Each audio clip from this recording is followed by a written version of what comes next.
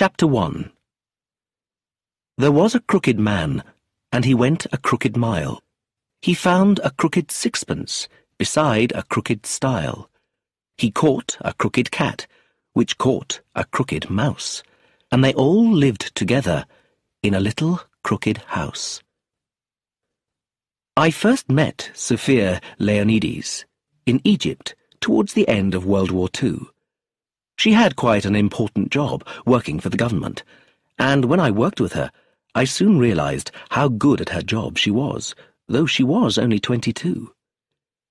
As well as being very good-looking, Sophia had a clear mind and a delightful sense of humour.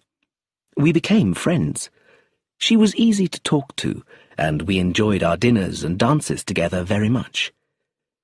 But it wasn't until I was ordered to go to East Asia at the end of the war in Europe that I realized I loved Sophia and wanted to marry her.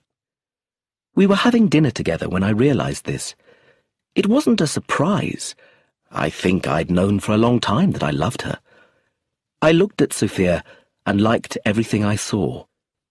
She had dark hair and bright blue eyes, a small chin and a straight nose. She looked very English. Then, suddenly, I wondered if she really was as English as she looked. After all, her surname didn't sound English. Although we'd talked about many things, Sophia had never mentioned her home or her family. I didn't know anything about her background. Sophia asked me what I was thinking about. You, I replied truthfully. I may not see you for a few years, Sophia, but when I get back to England, I'm going to ask you to marry me.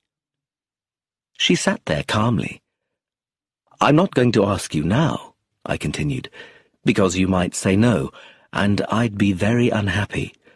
And if you say yes, I don't want to be engaged for years, or get married now and then leave you straight away. I want you to go home free and independent and decide what you really want but I wanted to let you know how I... well, how I feel. But you don't want to be too romantic, murmured Sophia. Darling, don't you understand? I- I've tried not to say I love you. She stopped me. I do understand, Charles, and I like your funny way of doing things. You can come and see me when you get back, if you still want to. Of course I'll want to, I interrupted. You don't know that, said Sophia. You don't know much about me, do you? No, I admitted. I don't even know where in England you live. I live just outside London, at a place called Swinley Dean, she said, in a little crooked house. I must have looked surprised, because she explained why she had used the last line of a nursery rhyme. My family, she said, and they all lived together in a little crooked house. That's us. And though the house isn't really little, it's definitely crooked. So, do you have a large family? I asked. One brother, one sister, a mother, a father, an uncle, an aunt by marriage, a grandfather, a great-aunt, and a step-grandmother. My goodness, I exclaimed in surprise. Of course, we don't normally all live together, Sophia laughed. It was because of the war. With the bombing, it was too dangerous to stay in London. But my grandfather takes care of us. He's over eighty and very small, but he's so alive that, compared to him, Everybody else seems rather boring. He sounds interesting, I said. He is interesting. He's from Greece, and his name is Aristide Leonides. She added with a smile, and he's extremely rich. I wonder if you'll like him. Do you? I asked. More than anyone in the world, said Sophia. Chapter 2 More than two years passed before I returned to England. Sophia and I wrote to each other quite often. Our letters weren't love letters. They were about ideas and thoughts, but I knew my feelings for her were growing stronger, and I believed she felt the same. I returned to England on a soft, grey day in September, and immediately sent a telegram to Sophia. Just arrived back. Will you dine this evening? Mario's restaurant, nine o'clock. Charles. A couple of hours later, I was at my father's house in London reading the newspaper when I saw the name Leonides in the deaths column. Leonides. On September 19th at Three Gables, Swinley Dean, Aristide Leonides, much loved husband of Brenda Leonides, passed away in his 88th year, deeply missed. There was another announcement immediately below. Leonides passed away suddenly at his house, Three Gables, Swinley Dean, Aristide Leonides, deeply missed by his loving children and grandchildren. I thought it was strange that there were two announcements. There must have been a mistake. I quickly sent Sophia a second telegram. Just seen news of your grandfather's death. Very sorry. Let me know when I can see you. Charles. A telegram from Sophia reached me at six o'clock. Will be at Mario's nine o'clock. Sophia. I was both nervous and excited at the thought of meeting Sophia again. I hadn't seen her for so long that when she walked through the door at Mario's, it seemed completely unreal. We had drinks and then sat down to dinner. I said I was sorry about her grandfather, and we talked rather fast and were awkward with each other. It wasn't just because we hadn't seen each other for such a long time. I felt there was something definitely wrong with Sophia herself. Didn't she love me any more? Had she met someone else? Somehow, I didn't think that was the problem. I didn't know what was wrong. Then suddenly, as the waiter brought us our coffee, everything went back to normal. Sophia and I were together again, and it felt as if we had never been apart. Sophia, I said. Charles, she said immediately. Thank goodness that's over, I said with relief. What was the matter with us? It was probably my fault, said Sophia. I was stupid, but it's all right now. We smiled at each other. Darling, I said, how soon will you marry me? Her smile disappeared. The problem, whatever it was, was back. I don't know, she said. I'm not sure, Charles, that I can ever marry you. Because because of my grandfather's death. Your grandfather's death? But what difference does that make? Because I don't think he just died, Charles. I think he may have been killed. I stared at her. But what a very strange idea. Why do you think that? It was the doctor. He wouldn't sign a death certificate and the police need to investigate officially why he died. They clearly suspect that something is wrong. I didn't argue with her. Sophia was very intelligent, so I was sure she was right. But even if something is wrong, I said, how does that affect you and me? You work for the government. It might affect your job. No, please, don't say anything. I know it doesn't matter to you but it matters to me. I'm very proud. I want our marriage to be a good thing for both of us, and it may be all right, so long as the right person killed him. What do you mean by the right person, Sophia? I know that's a horrible thing to say, but I'm trying to be honest. Before I could speak, she continued, I'm not going to say any more, Charles. I've probably said too much already. But we can't make any plans until we know why my grandfather died. At least tell me about it. She shook her head. No, Charles. I don't want to tell you what I think. Instead, I want you to see me, and my family, for yourself, from the outside. And how will I do that? She looked at me with a strange light in her bright blue eyes. Your father will tell you, she said. I had told Sophia that my father was Assistant Commissioner of Scotland Yard, the London police headquarters. I suddenly felt cold. Is it such a serious case? I asked. I think so. Do you see that man sitting by the door? He followed me from Swinley Dean. I shouldn't have left the house, but I wanted to see you, so I climbed out of the window. Darling! Well, never mind. We're here. Together. She paused and then added, And there's no doubt that we love each other. No doubt at all, I said. You and I have survived a world war, Sophia, so we can survive the sudden death of one old man. He probably just died of old age. If you knew my grandfather, said Sophia, you would be surprised that he died of anything.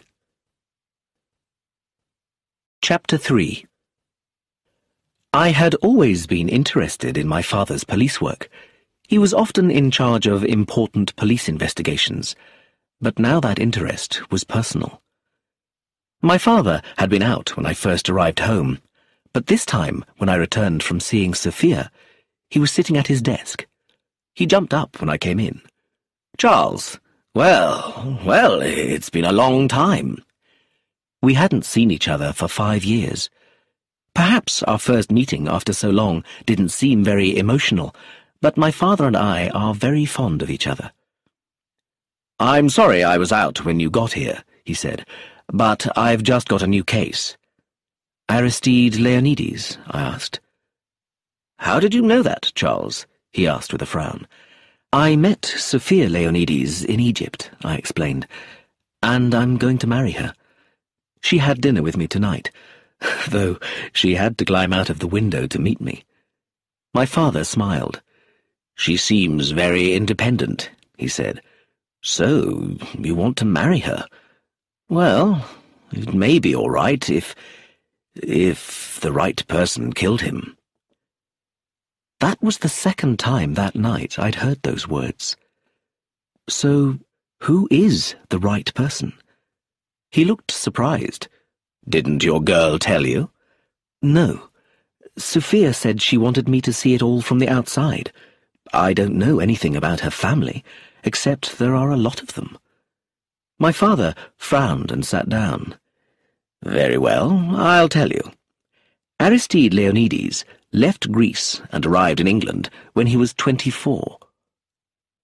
Just then, the door opened, and Chief Inspector Taverner came in. We'd known each other for many years and said hello warmly. Taverner is in charge of the case, explained my father so he can correct me if I'm wrong. As I was saying, Leonides came to London and then started a restaurant, which was very successful.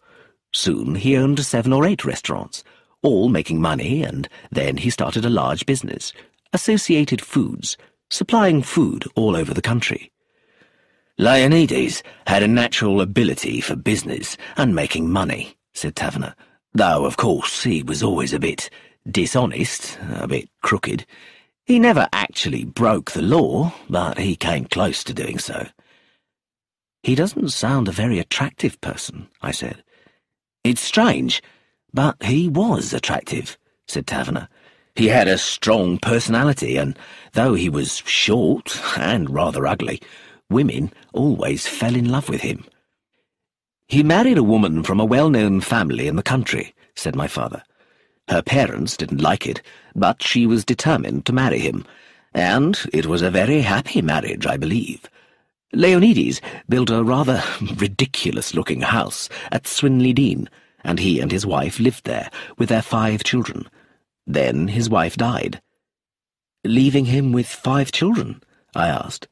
Yes, but there are only two children still left alive, said my father. Roger, the eldest son, who's married but has no children, and Philip, who married an actress and has three children, Sophia, Eustace, and Josephine. And now they all live together at the same house, Three Gables, I said. That's right. Roger moved there after his house was bombed in the war, and Philip and his family have lived there for a few years. And there's an old aunt, Miss Edith de Haviland, sister of the first Mrs. Leonides. She always hated Aristide Leonides, but when her sister died, she came to look after the children. Well, that's a big family, I said. Who do you think killed Aristide Leonides?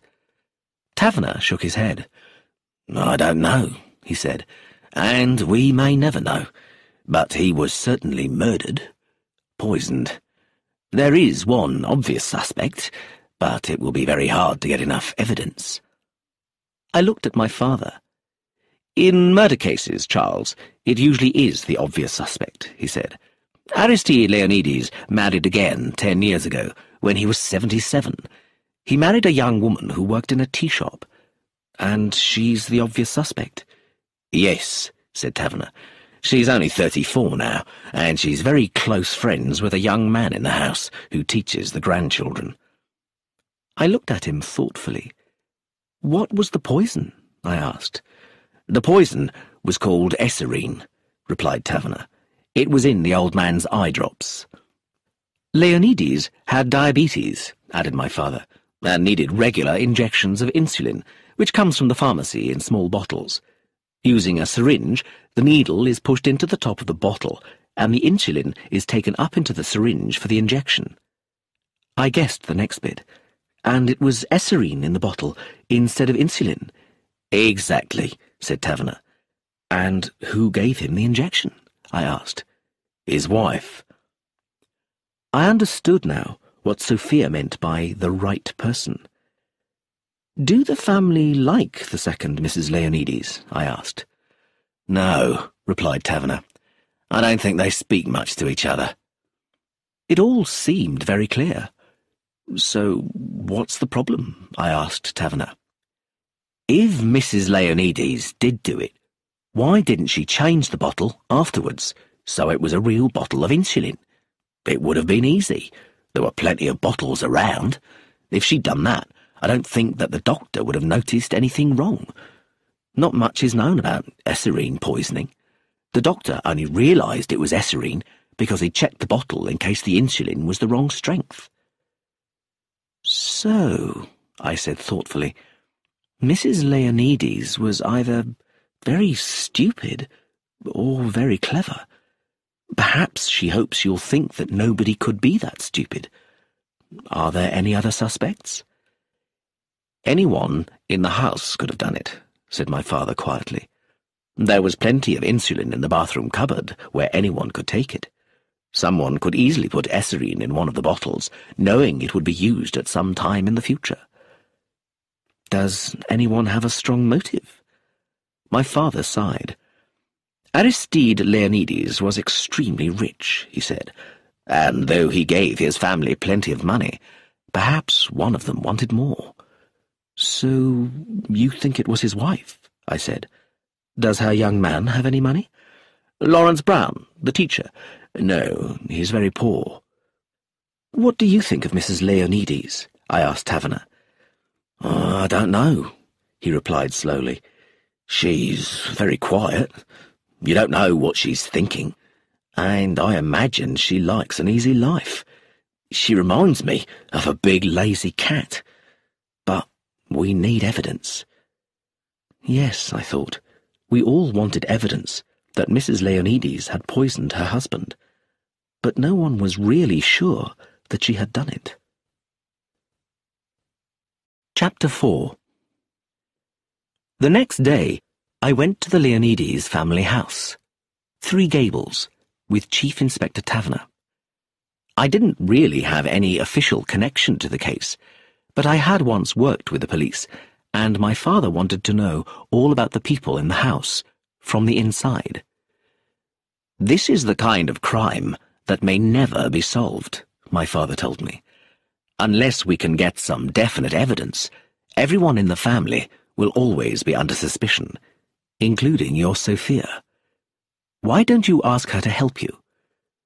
So, here I was in Swinley Dean. Once we had driven past the golf course, we soon came to the front of the house. It was incredible. The house should have been called Eleven Gables, not Three Gables. It looked like a traditional little country house, but one that was the size of a castle. It had lots of crooked gables and wood timbers.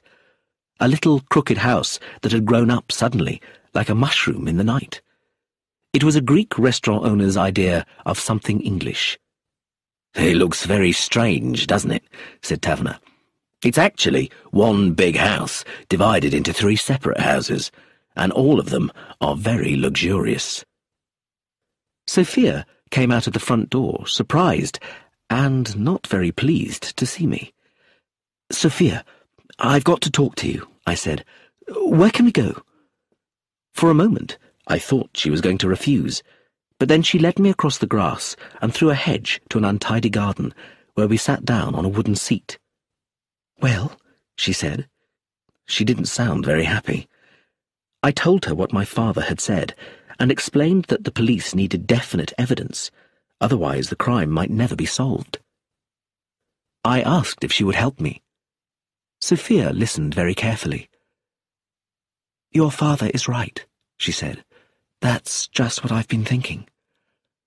After a pause, she said quietly, I have to know the truth.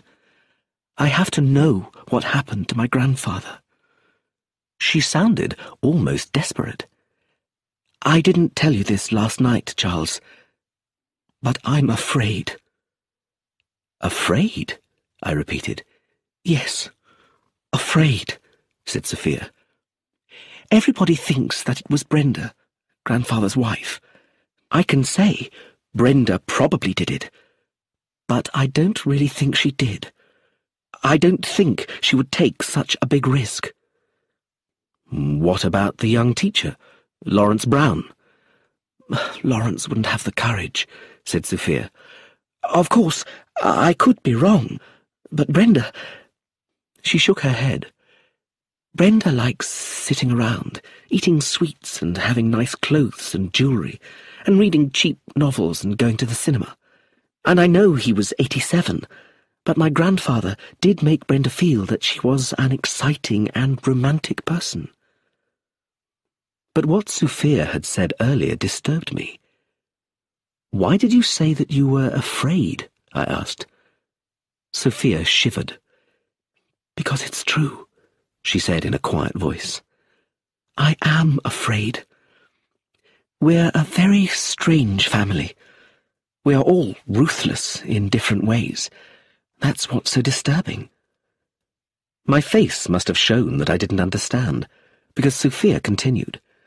I'll try and explain. In Greece, grandfather once stabbed two men in a fight. He told me about it in quite a relaxed way, as if it wasn't important. That's one kind of ruthlessness.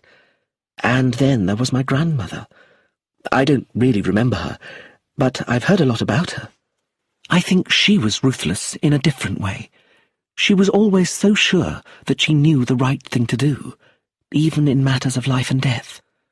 That sounds a bit unlikely, I said doubtfully. Yes, perhaps. But I'm always rather afraid of people like that, said Sophia. And then there's my own mother, who's an actress. She's a darling, but she only sees how things affect her. She doesn't think of anyone else. That's rather frightening sometimes. And Clemency, Uncle Roger's wife. She's a scientist.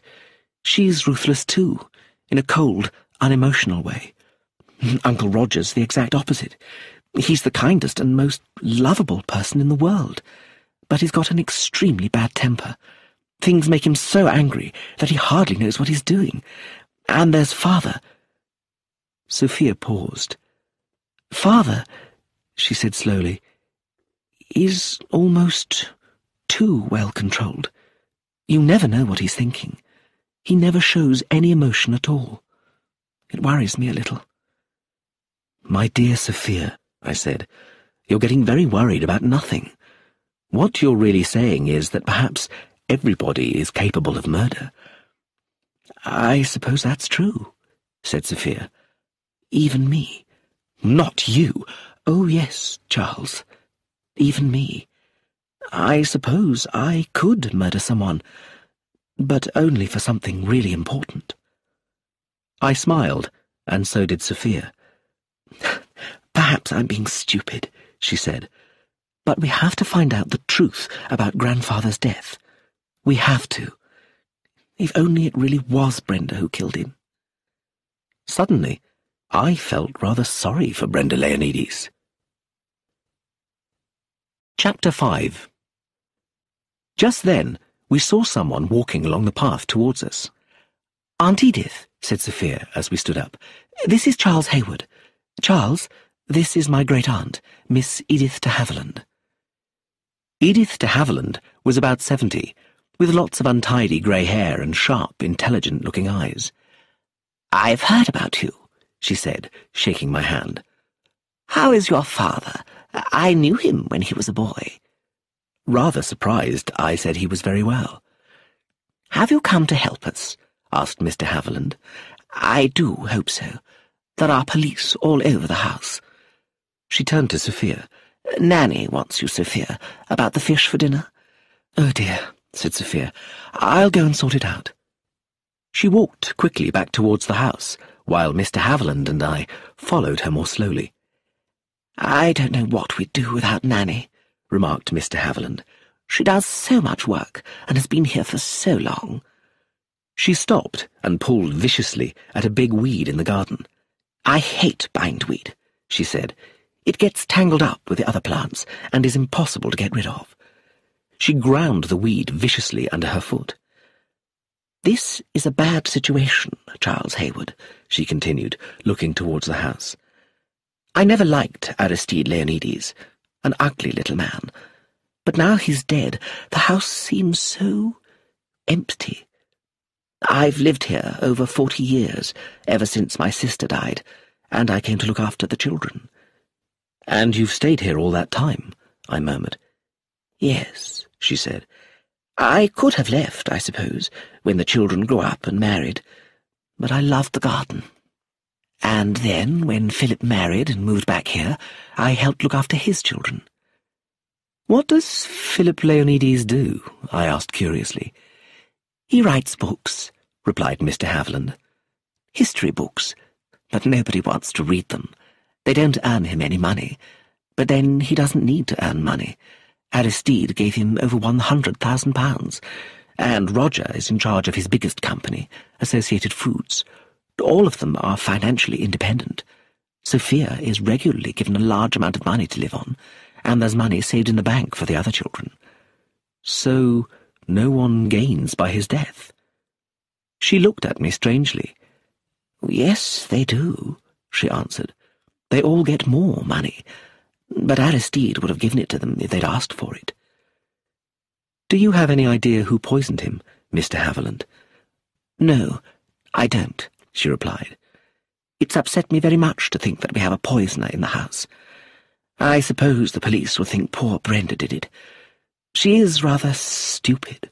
Perhaps she got tired of waiting for Aristide to die. If it was her, it will be all right. She isn't one of the family. Do you have any other ideas? I asked. What other ideas should I have? I wondered. She seemed to be intelligent, but as I looked at her, I thought of the word Sophia had used. Ruthless. I remembered how Miss de Haviland had viciously ground the bindweed under her foot. And just for a moment, I wondered if Edith de Haviland had poisoned Aristide Leonides herself. Chapter 6 We went back to the house and through the large hall. At the back, where there would normally be stairs, was a white wall with a door in it. You get to Aristide's part of the house through that door, explained Miss de Haviland. Philip and Magda live in a different part of the house, here on the bottom floor. We went through a door on the left into a large drawing room. It had pale blue walls, which were covered with many photographs and pictures of actors and dancers. There was a lot of heavy furniture, and on the tables were large vases of flowers. Do you want to see Philip? asked Miss de Haviland. I had no idea. I thought I'd only wanted to see Sophia. Should I talk to her father? If I did, should I say that I was a friend of Sophia's or that I was working with the police? Miss de Haviland didn't give me time to say anything. We'll go to the library, she decided, and led me out of the drawing room, along a corridor, and through another door. We entered a big, cold room full of books, not just on the bookshelves, but also on the chairs, tables, and even the floor. A tall man of about fifty years old stood up as we came in. Philip Leonides was very handsome, which surprised me, since people said his father was so ugly. But this man had a perfect-looking face with a straight nose and fair hair that was just beginning to turn grey. Philip, said Edith de Haviland, this is Charles Hayward. Uh, how do you do? said Philip Leonides, shaking my hand. I couldn't tell if he had ever heard of me. He certainly didn't seem very interested. Are the police still here? asked Miss de Haviland. I believe Chief Inspector Taverner is coming to talk to me soon, Philip replied. I don't know where he is now. Just then, the door burst open and a woman came in. She had big blue eyes and lots of red hair and was wearing a luxurious pink dressing gown. She was talking very quickly, in a clear, attractive voice. Somehow, it seemed that three women, not just one, had entered the room. Darling, she said, I simply can't decide what to wear at the inquest. Something dark, of course, though not black. Perhaps dark purple. Oh, how calm you are, Philip. How can you be so calm? Don't you realize we can leave this awful house now and be free? Of course, we could never leave when your grandfather, the poor old darling, was alive. He really did love us, but if we'd left, that woman upstairs would have made sure she got the house, the money, everything. But now, now we can produce that new play, and this murder will give us lots of free publicity. So, this was Magda Leonides, Sophia's mother. I'm looking forward to talking to the inspector, she continued. He'll want to know exactly how and when everything happened, and I'll tell him all the little things I noticed and wondered about at the time. Mother, said Sophia, coming through the open door, you mustn't tell the inspector a lot of lies. Sophia, darling, and I know you're ready to give a most beautiful performance, just as if you were acting in a play, but you've got it all wrong. Magda looked puzzled. What do you mean? You have to act it in a different way, said Sophia. Don't say much at all. Keep quiet and don't talk much, as if you're protecting the family. A pleased little smile showed on Magda's face. Yes, she said slowly. Yes, that's a good idea. I've made you some breakfast, added Sophia. It's in the drawing room. Oh, good. I'm hungry, said Magda, and quickly left the room. Sophia started to follow her mother, then turned back to say, Chief Inspector Taverner is here to see you, father. You don't mind if Charles stays, do you? I wasn't surprised when Philip Leonides looked confused, but all he said was, Oh, certainly, certainly, in a rather uncertain voice. Chief Inspector Taverner came in. He looked calm and businesslike. As I sat down in the background, Miss de Haviland said, Do you want me to stay, Chief Inspector? Not now, Miss de Haviland, but I do want to talk to you later. Of course, I'll be upstairs. She went out, shutting the door behind her. I won't disturb you for long, said Taverner, but I can now confirm that your father did not die a natural death. He was poisoned by a drug called eserine. Philip did not show any emotion. He must have taken the poison by accident, he said. My father was nearly ninety, and he couldn't see very well. So you think your father put the contents of his eye drop bottle into an insulin bottle? said Taverner. Does that seem likely? Philip did not reply. His face still showed no emotion. We have found the empty eye drop bottle, continued the Chief Inspector. There were no fingerprints on it, which is strange. Your father's fingerprints at least should have been there. Now, Mr. Leonides, he continued, Can you tell me what you were doing on the day of your father's death? Certainly, replied Philip. I was here, in this room, all day, except when I went to eat, of course. Did you see your father at all? I said good morning to him after breakfast. Were you alone with him then? My uh, uh, stepmother, Brenda, was in the room. Is your father's part of the house completely separate from yours? Continued Taverner. Yes. The only way to get to it is through the door in the hall. Is that door usually locked? No, never, replied Philip. So anyone could go freely between the different parts of the house? Yes, that's true. How did you first hear of your father's death? asked the inspector. My brother Roger, he lives on the floor above, came rushing down to tell me that my father couldn't breathe and seemed very ill. What did you do? I telephoned the doctor, but he was out, so I left an urgent message. Then I went upstairs. My father was clearly very ill, and he died before the doctor came. There was no emotion in Philip's voice. It was a simple statement of fact. Where was the rest of your family? My wife, Magda, was in London, but came home soon afterwards. Sophia was also out, I believe, but my two younger children, Eustace and Josephine, were at home. And I'm afraid I have to ask you, said Taverner, how your father's death affects your financial position. My father made us financially independent many years ago, Philip replied. He gave my brother Roger his largest company, Associated Foods, and gave me about one hundred and fifty thousand pounds. My father didn't keep much money for himself, but now he has made even more money than he had before. For the first time, Philip smiled slightly. So, you and your brother don't live in this house because of financial problems? asked Taverner. Certainly not. It's just easier for both of us, and my father liked us to live here. I was very fond of my father, added Philip. I came to Three Gables with my family in 1937, and my brother Roger came in 1943, when his house in London was bombed.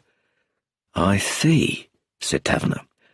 And now, Mr. Leonides, can you tell me anything about your father's will and how he has left his money? My father was not a secretive man, said Philip. He held a meeting with all his family, and his lawyer, Mr. Gaitskill, to tell us about his will. My stepmother Brenda was left one hundred thousand pounds, and the rest of his property was divided into three parts, one for me, one for my brother Roger, and the other was kept in the bank for his three grandchildren. I mean, my children, Sophia, Eustace, and Josephine. Did your father leave anything to the servants? Uh, no, answered Philip. Instead, their pay increased each year they stayed in his service. And so you yourself don't need any more money, Mr. Leonides? I have enough money, Chief Inspector, said Philip coldly and if I needed more, my father would have given it to me. I had no financial reason to want my father dead. I'm sorry for asking, said Taverner, but I need to know all the facts. And now I have to ask you some rather personal questions about the relationship between your father and his wife. Were they happy together? Yes, as far as I know, said Philip. Did you approve of your father's second marriage? My approval was not asked, Philip said, but I thought the marriage was unwise. It must have been quite a shock to you, said the inspector. Philip did not reply. Did you get on well with Mrs. Leonides? Taverner continued. Yes, answered Philip, though I don't see her very often. What can you tell me about Mr. Lawrence Brown, your children's teacher? Not very much, Philip said. My father employed him. His references were good, and he is a good enough teacher. He lives in your father's part of the house, not here. There was more room there. Have you ever noticed any signs of a close relationship between Lawrence Brown and your stepmother? was Taverner's final question. No, I have not, Philip replied. Chief Inspector Taverner got up. Thank you very much for your help, Mr. Leonides. I followed him out of the room. My goodness, Charles, said Taverner, as we stood in the corridor. He's a cold man. Chapter 7 And now, let's talk to his wife, Magda, the actress, said Taverner. The name she uses on stage is Magda West. I've heard her name, I said. Is she a good actress? She has starred once or twice in the big London theatres, said Taverner, but she's never become famous. Perhaps because she doesn't need to earn her living. If she wants to play a certain part, she sometimes finances the whole play herself. Sophia came out of the drawing room. My mother isn't here, Chief Inspector. I followed Taverner into the big drawing room. For a moment, I didn't recognize the woman who sat on the sofa. She was so different from the emotional woman in the luxurious pink dressing gown I had seen earlier. Magda's red hair was now arranged in an old-fashioned style on the top of her head, and she wore a neat grey coat and skirt and a pale shirt. Please sit down, Inspector, she said in a calm, quiet voice. How can I help you? Thank you, said Taverner. Can I ask where you were at the time of your father-in-law's death? I was driving home from London, Magda said. I'd had lunch with a friend and then gone shopping. When I got here, everything was in confusion. My father-in-law had become ill and was dead. Her voice shook just a little. Were you fond of your father-in-law? Asked the inspector. We were all fond of him, replied Magda. He was very good to us. Do you get on well with Mrs. Leonides? We don't see very much of Brenda. We don't have much in common. Was Mrs. Leonides happy with her husband? Oh, I think so, replied Magda quietly. She's very friendly with Lawrence Brown, I believe. Magda's body became stiff, and she looked sadly at Taverner. Brenda, she said with dignity, is friendly to everyone. Do you like Lawrence Brown? He's very quiet. You don't really notice he's there. Taverner tried to shock her. Do you think Brenda Leonides and Lawrence Brown were having a love affair? Magda stood up theatrically as if she was on stage. I have no idea, Inspector, she said, and that is not a question you should ask me. Brenda was my father-in-law's wife. I felt like clapping her performance. Taverner also stood up. Thank you, Mrs. Leonides, he said. I followed Taverner out to the door to the stairs. I'm just going up to see Roger, the elder brother, he explained.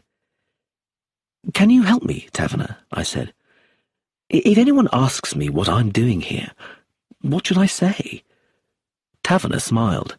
Has anyone asked you? Well, no, I admitted. If no one has asked you, then don't explain or say anything, he said simply. Everyone is too worried to ask you questions. Hmm, he continued. This door isn't locked. None of them are in this house. You realise, of course, that all my questions about who was in the house that day don't matter at all. then why ask? I said. Because I want to hear them talk, Taverner said. I might learn something. Everybody in the house had the means and the opportunity to kill the old man. What I want is a motive. He knocked on the door at the top of the stairs. It was opened by a big, tall man with strong shoulders, dark hair, and an ugly but pleasant face. You must be Chief Inspector Taverner, he said. I'm Roger Leonides. Uh, do come into the sitting room. He led us into a completely white room, which was light and airy and had very little furniture. It was very different to Magda's crowded room downstairs. I'll go and get my wife, Clemency, said Roger. Oh, you're here, darling. I must get some cigarettes, if you don't mind.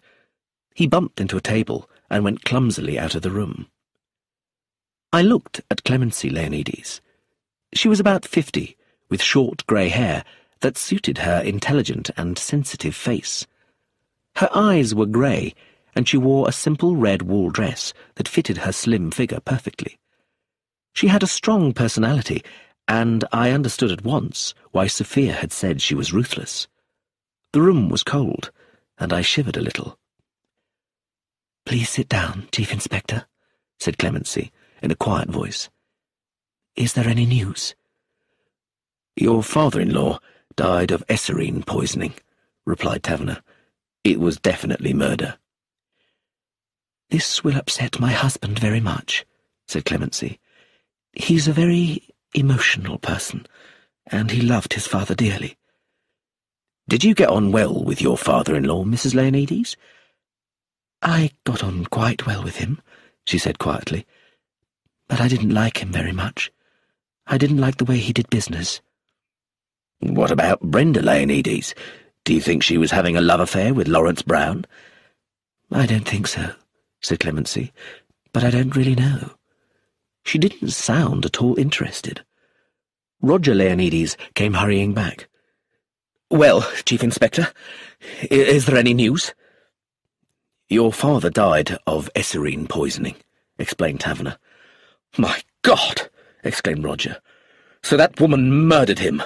She couldn't wait for him to die. Why do you think that? Taverner asked. Who else could it be? said Roger, walking quickly up and down the room, pulling his hair. I've never trusted Brenda. Never liked her. None of us did. Why did father marry her? At his age, it was madness. Madness! My father was an amazing man, Chief Inspector. He did everything for me, and I... I failed him.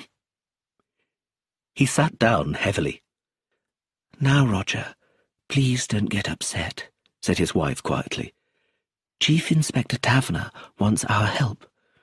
I'd like to strangle that woman with my own hands, said Roger angrily. Yes, I'd strangle her if she were here. He was shaking with anger. Roger, said Clemency sharply. Sorry, dearest, said Roger, calming down. I do apologize. I... Please excuse me, he said to us, and went out of the room again. He wouldn't really hurt anyone, said Clemency with a slight smile. Taverner politely began to ask his routine questions, which Clemency Leonides answered clearly. Roger had been in London on the day of his father's death, working at the head office of Associated Foods. He had returned in the afternoon and had spent some time with his father. She herself had been at work in London and had returned to the house just before six o'clock. Did you see your father-in-law on the day of his death? asked Taverner. No, replied Clemency. I saw him the day before, after dinner, but not on the day he died. I did go to his part of the house to get something for Roger, but I didn't disturb the old man. When did you hear that he was ill? Brenda came rushing over, just after half past six. I knew that these questions weren't important, but they gave Inspector Taverner the chance to look closely at the woman who answered them. Then Taverner asked if he could look round their part of the house.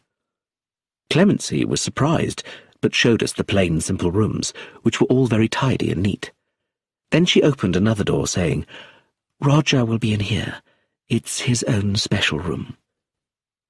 Come in, said Roger, as his wife left us. His room was very different to those in the rest of the house. It was a personal room, full of papers, photographs, and big chairs, and although it was untidy, it was pleasant and comfortable. I'm sorry about my behaviour earlier, said Roger. I get very emotional at times. He looked round to make sure that Clemency was not with us. My wife has been wonderful, he said. I admire her so much. She's had such a hard life. She looked after her first husband, who died, and I was so glad when she agreed to marry me so I could take care of her. I'm so lucky. I'd do anything for her. Again, Taverner politely began to ask his questions. When did you first know that your father was ill? Brenda rushed over to tell me. I'd left him only half an hour before, and he was all right then. I rushed over to see him. He couldn't breathe properly. And then I ran down to Philip, who phoned for the doctor. I... We couldn't do anything to help. When Taverner and I left Roger's part of the house, the Chief Inspector said, He's very different to his brother, isn't he? I agreed with him. And the women they've married are very different, too, Taverner added. Clemency and Magda were indeed very different, and yet I thought that both married couples seemed happy together. But I don't think Roger is a poisoner, continued Taverner, though his wife might be. No, I think it's much more likely to be Brenda Leonides, though I don't know if we'll ever get any evidence. Chapter 8 Now we went to Aristide Leonides' part of the house, where a servant opened the door and led us into a big drawing room. Although it was the same size as Philip and Magda's drawing room, this room looked very different. It had bright sofas and luxurious curtains, and on the wall was a painting of a little old man. He had sharp but kind-looking dark eyes and crooked shoulders. He looked powerful and full of life. That's Aristide Leonides, said Taverner. He certainly had a strong personality. Yes, I agreed, looking at the painting and the little man's lively dark eyes. Now I understood why Edith de Haviland thought that the house seemed empty without him. There's a painting of his first wife over there, said Taverner. I looked at the picture of a typical English country lady. Her face was handsome, but rather dull and lifeless, not like her husband's face. Just then, the door opened, and Aristide Leonides' second wife came into the room. Brenda Leonides was quite pretty. She had brown hair and was wearing a black dress and lots of expensive jewellery. She moved easily and lazily, like a cat. I noticed that though she wore makeup, she had obviously been crying. I also noticed that she looked frightened. Good morning, Mrs. Leonides, said Taverner. I'm sorry to disturb you again. You do understand, don't you, that you can have your lawyer here if you want. I wondered if she understood what these words meant. Apparently not. I don't like Mr. Gaitskill, said Brenda Leonides, sitting down on the sofa. I don't want him here. We'll start then, said Taverner. Have you found out anything? she asked, her hands twisting nervously. Uh, yes, said Taverner. Your husband definitely died from eserine poisoning. You mean those eye drops killed him? That's right. You injected Mr. Leonides with eserine, not insulin. But I didn't know that, exclaimed Brenda. I didn't have anything to do with it. Then somebody must have deliberately replaced the insulin with the eye drops. It must have been an accident, or one of the servants, said Brenda. We've interviewed the servants, said Taverner, and we don't suspect any of them. Have you any other ideas, Mrs. Leonides? She stared at him. I've no idea at all, she said. You said you were at the cinema that afternoon. Yes, I came in at half past six. I... I gave my husband his injection, as usual, and then he... he became ill. I was terrified. I rushed to find Roger. I've told you all this before. I'm sorry, Mrs. Leonides, said Taverner.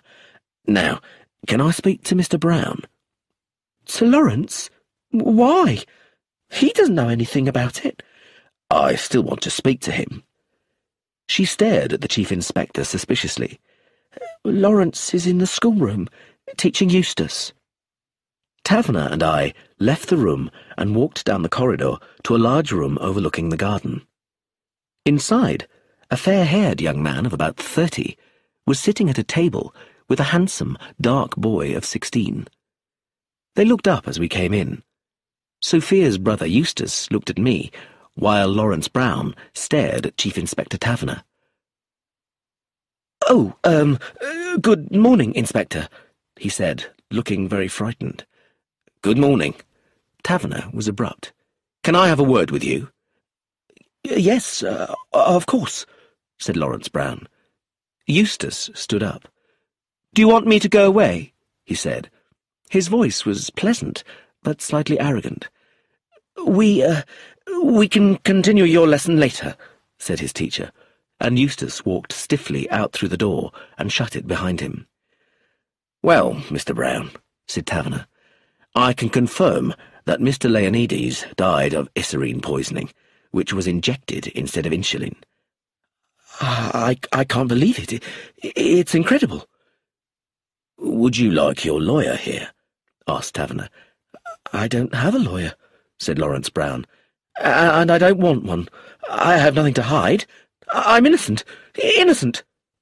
I have not suggested anything else. Taverner paused. Mrs. Leonides was a lot younger than her husband, wasn't she? I... I suppose so.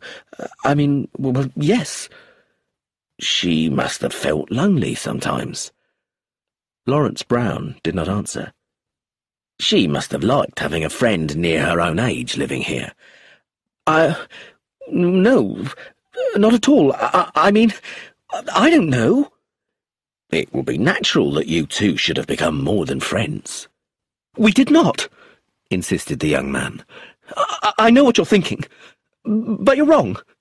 Mrs. Leonides was always very kind to me, and I respect her, but nothing more. And I... I wouldn't kill anybody. I'm very sensitive, and I'm not very strong. I object to killing. I wouldn't fight in the war. They let me teach instead, and I've done my best here with Eustace and Josephine. She's a very intelligent child, but difficult. Everybody has been very kind to me. And now this awful thing happens, and you suspect me, me, of murder. Chief Inspector Taverner looked at him closely. I haven't said that, he remarked. But you think so. They all think so. They look at me. I... I can't go on talking to you. I'm not well. He hurried out of the room. He's really scared, said Taverner. But that doesn't prove anything. Is he a murderer? I don't know if he'd have the courage, I said. This murder didn't need courage, said the Chief Inspector. All he had to do was switch two bottles. Then he could marry a very rich woman.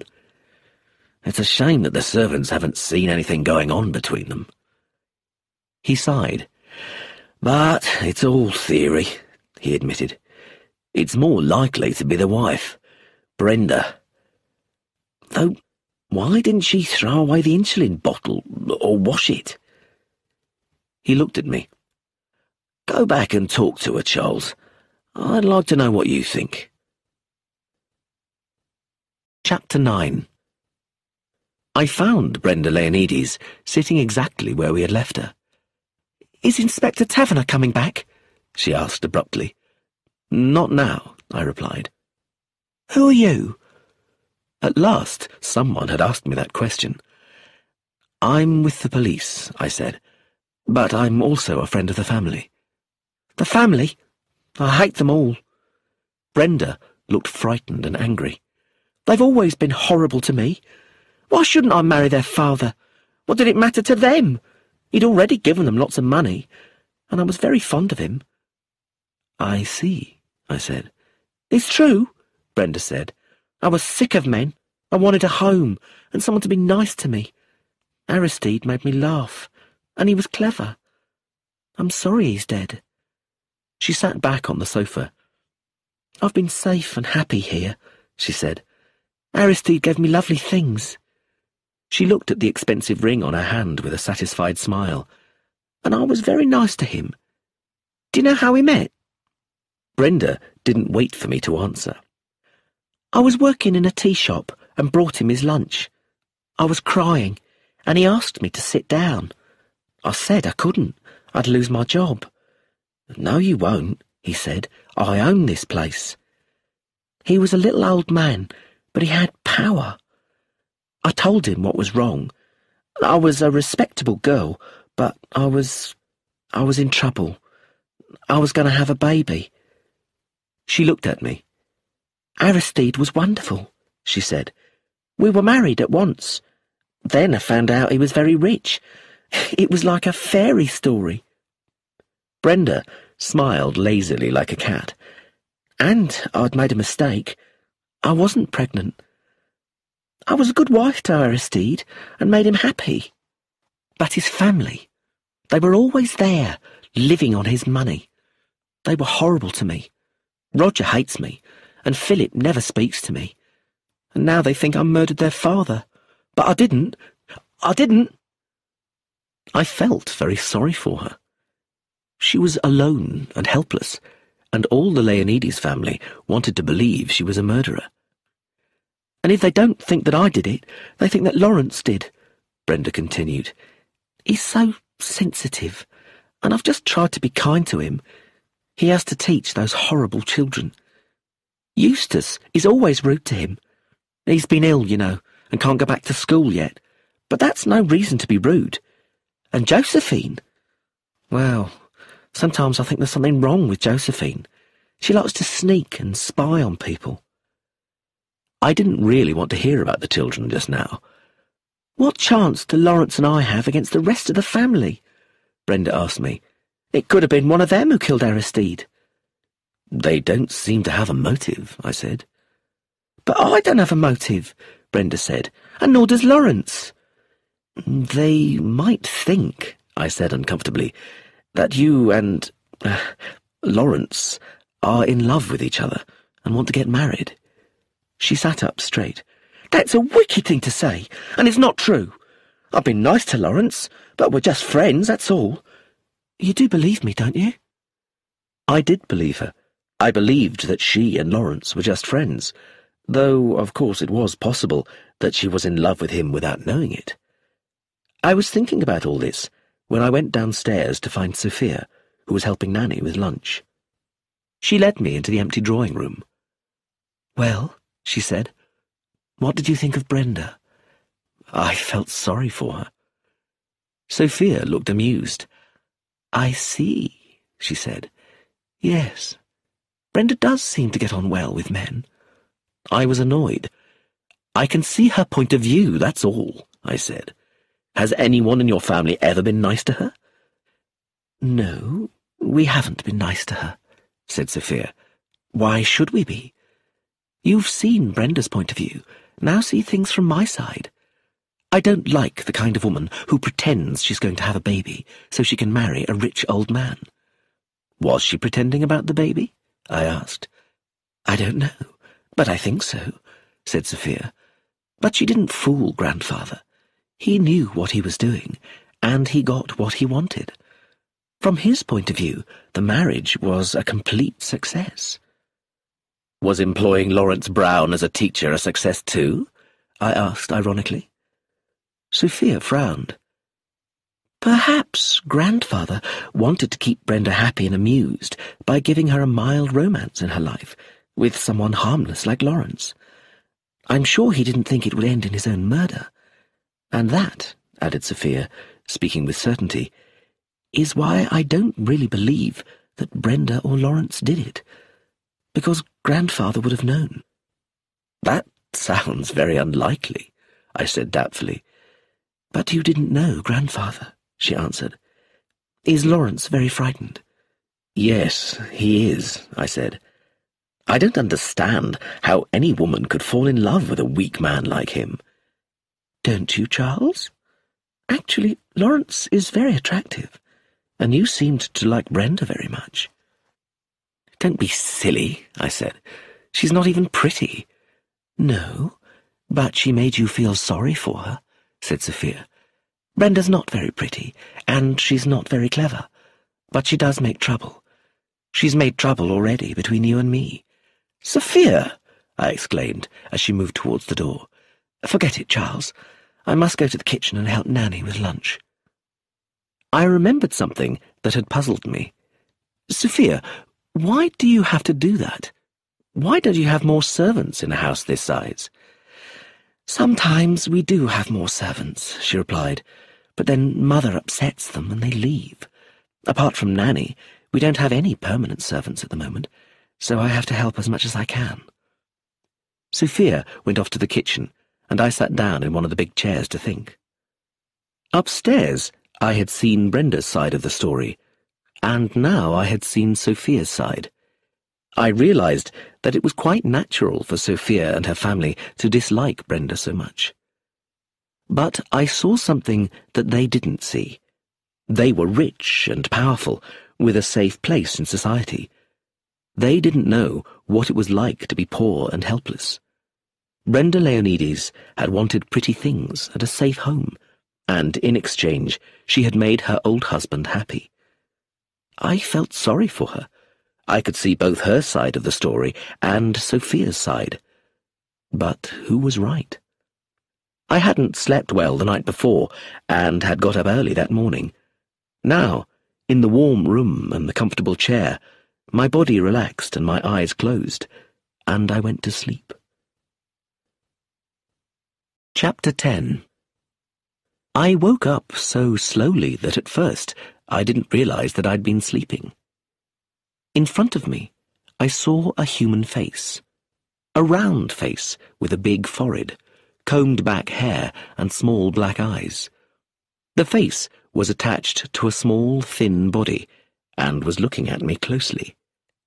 Hello, said the face. I'm Josephine. I had already guessed that this was Sophia's sister. Josephine was an ugly little girl, about eleven or twelve years old, who looked very like her grandfather. You're Sophia's young man, said Josephine. But why did you come here with Chief Inspector Taverner? He's my friend, I told her. Is he?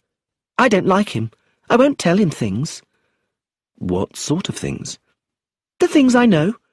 I know a lot of things. I like knowing things. She sat down and continued to look at me closely. Grandfather's been murdered. Did you know? Yes, I said. I knew. He was poisoned. With eserine. She said the word very carefully. It's interesting, isn't it? I suppose it is. Eustace and I are very interested. We like detective stories. I'm being a detective now. I'm collecting clues. She was rather a strange child, I thought. I think there'll be a lot of changes here now, Josephine told me.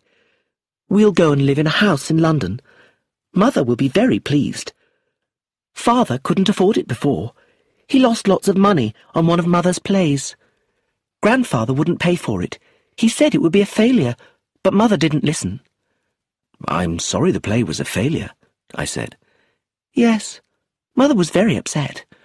The things they said in the newspapers were so bad that she cried all day and threw her breakfast at one of the servants, who left. It was rather fun. Are you sorry your grandfather is dead? I asked. Not really. I didn't like him much. He stopped me learning to be a ballet dancer. Did you want to learn ballet dancing? Yes, and Mother and Father didn't mind, but Grandfather said I'd be no good. She stood up and danced a few steps around the chair. I suppose the house will be sold now, unless Brenda goes on living here. And I suppose Uncle Roger and Aunt Clemency won't be going away now. Were they going away? I asked curiously. Yes, they were going on Tuesday, said Josephine. Abroad somewhere. It was a secret. They weren't going to tell anyone until after they'd gone. They were going to leave a note behind for Grandfather. Josephine, do you know why your Uncle Roger was going away? I said. She looked at me slyly. It was something to do with Uncle Roger's office in London. I think, but I'm not sure, that he'd embezzled something. That means stealing money. Why do you think that? Josephine came so near that I could feel her breath on my face. The day that grandfather was poisoned, he and Uncle Roger were shut up in a room together for a long time. They were talking and talking, and Uncle Roger was very upset. He said he was a failure, and that he wasn't upset because of the money, but because grandfather had trusted him. I looked at her. Josephine, I said, did you listen at the door? Josephine nodded her head. Yes, she said. You have to listen at doors if you want to find out things. I'm sure the police do. And they look in people's desks and read all their letters and find out all their secrets. But they're stupid. They don't know where to look. Josephine spoke coldly, as if she was better than the police. I didn't really notice the importance of what she said. The unpleasant child continued. Eustace and I know lots of things, but I know more than Eustace does and I won't tell him. He says women can't be great detectives, but they can. I'm going to write down everything in a little black notebook, and then, when the police are completely confused, I'll tell them who the murderer is. Do you read a lot of detective stories, Josephine? Yes, lots. And do you know who killed your grandfather? Well, I think so. But I need to find a few more clues. She paused and added, Chief Inspector Taverner thinks that Brenda did it, doesn't he? Or Brenda and Lawrence together because they're in love with each other. You shouldn't say things like that, Josephine. Why not? They are in love with each other. You don't know that. Yes, I do. They write to each other. Love letters. Josephine, how do you know that? Because I've read them. They're very soppy letters, but Lawrence is soppy. He was too frightened to fight in the war. Just at that moment, a car arrived outside, and Josephine ran to look out of the window. It's Mr. Gaitskill, grandfather's lawyer, she said. I expect he's come about the will. Very excited, she hurried from the room. A few minutes later, Sophia and her mother, Magda, entered with a small elderly man. Your husband asked me to bring his father's will, the lawyer was saying to Magda, but I don't have it. Do you know anything about it? About poor dear grandfather's will? Magda opened her eyes astonished. No, of course not. He told us he'd sent it to you after he signed it. But the police didn't find the will with Mr. Leonides' private papers, said Mr. Gaitskill. I'll just go and talk to Chief Inspector Taverner. He left the room. Darling, said Magda to her daughter, I'm sure that wicked woman upstairs has destroyed it. I know I'm right. Nonsense, mother. She wouldn't do a stupid thing like that, said Sophia. It wouldn't be stupid at all. If there's no will, she'll get everything. Shh! Mr. Gaitskill's coming back. The lawyer re-entered the room with Philip Leonides and Chief Inspector Taverner. I've talked to the bank, the inspector was saying, but they don't have any private papers belonging to Mr. Leonides. I wonder if Roger or Aunt Edith knows anything, said Philip. Sophia, can you ask them to come down here? But when the others arrived, they couldn't help. Father signed the will, said Roger, and told us he was going to post it to Mr. Gaitskill the next day. I sent Mr. Leonides his will ready for signing on November 24th, Mr. Gaitskill said. A week later, he told me it had been signed and sent to his bank to keep it safe. That's right, said Roger eagerly. It was in November last year. Y you remember, Philip, that father read us the will. And what did the will say? asked Taverner. It was quite simple, said Roger. Father left £50,000 to Aunt Edith and £100,000 and this house to Brenda. The rest of father's money and property was going to be divided into three parts, one for myself, one for Philip, and the third for Sophia, Eustace, and Josephine. And the money for the last two was going to be kept in the bank until Eustace and Josephine were twenty-one. I think that's right, isn't it, Mr. Gaitskill? That is correct, agreed Mr. Gaitskill, slightly annoyed that he hadn't been allowed to explain the will himself. Father read it out to us, said Roger, and asked if we had any comments. And Brenda said that she hated to hear her darling old Aristide talk about death, added Magda quickly, and when he was dead she didn't want any of his stupid money. That's only what people of her class think they ought to say, said Miss de Haviland coldly. I realized suddenly how much Edith de Haviland disliked Brenda. And after reading the will, what happened next? asked Inspector Taverner. Exactly how and when did Mr. Leonides sign it? Roger looked round at his wife, so it was Clemency who answered the inspector's question. My father-in-law put the will down on his desk and asked two of the servants to come in, she said. He covered the will with a piece of paper so they couldn't read it, then signed the will and asked the servants to sign their own names under his signature. That's right, approved Mr. Gaitskill. To be legal, a will must be signed in front of two witnesses, who must then sign at the same time. And then what happened? asked Taverner. My father-in-law thanked the servants, and they went out, said Clemency. Then he put the will in an envelope and said that he would send it to Mr. Gaitskill the next day. Do you all agree, said Chief Inspector Taverner, looking round, that this is what happened? There were murmurs of agreement. You say that the will was on the desk, continued Taverner. Were any of you near that desk?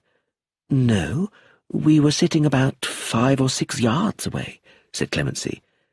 And did Mr. Leonides get up or leave the desk after reading the will and before signing it? No. Chief Inspector Taverner took out an envelope and gave it to Mr. Gaitskill. We found this with Mr. Leonides' private papers, he said to the lawyer. Please have a look and tell me what it is. Mr. Gaitskill looked at the contents of the envelope with astonishment. I don't understand, he said. This is the very same will, but it isn't signed. Perhaps it's just a copy, suggested Roger. No, said the lawyer. No, it's the very same will that I prepared for Mr. Leonides to sign. There is a small mark on the paper that I noticed at the time. I swear it's the exact same will. But that's impossible, exclaimed Philip, speaking with more excitement than I'd heard from him before. We saw both the servants and my father sign the will. Father couldn't see very well, but he was wearing his reading glasses that evening. Yes, I remember that too, agreed Clemency. And nobody, you are all sure of that, went near the desk before the will was signed? asked Taverner.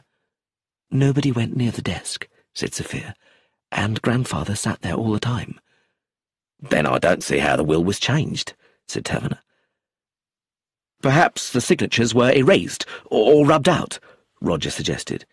But we would still be able to see signs of that, said Mr. Gaitskill, and there aren't any. The family looked at one another. We were all there, said Roger. It just couldn't have happened. Miss de Haviland coughed. But it did happen, she remarked. What I'd like to know is what happens next. It is an interesting legal problem, said Mr. Gaitskill. This will, of course, cancels all previous wills, and a large number of witnesses saw Mr. Leonides sign it. Taverner looked at his watch. I'm afraid, he said, I must go now. Everybody stood up, and I went quietly towards Sophia and asked if I should go too.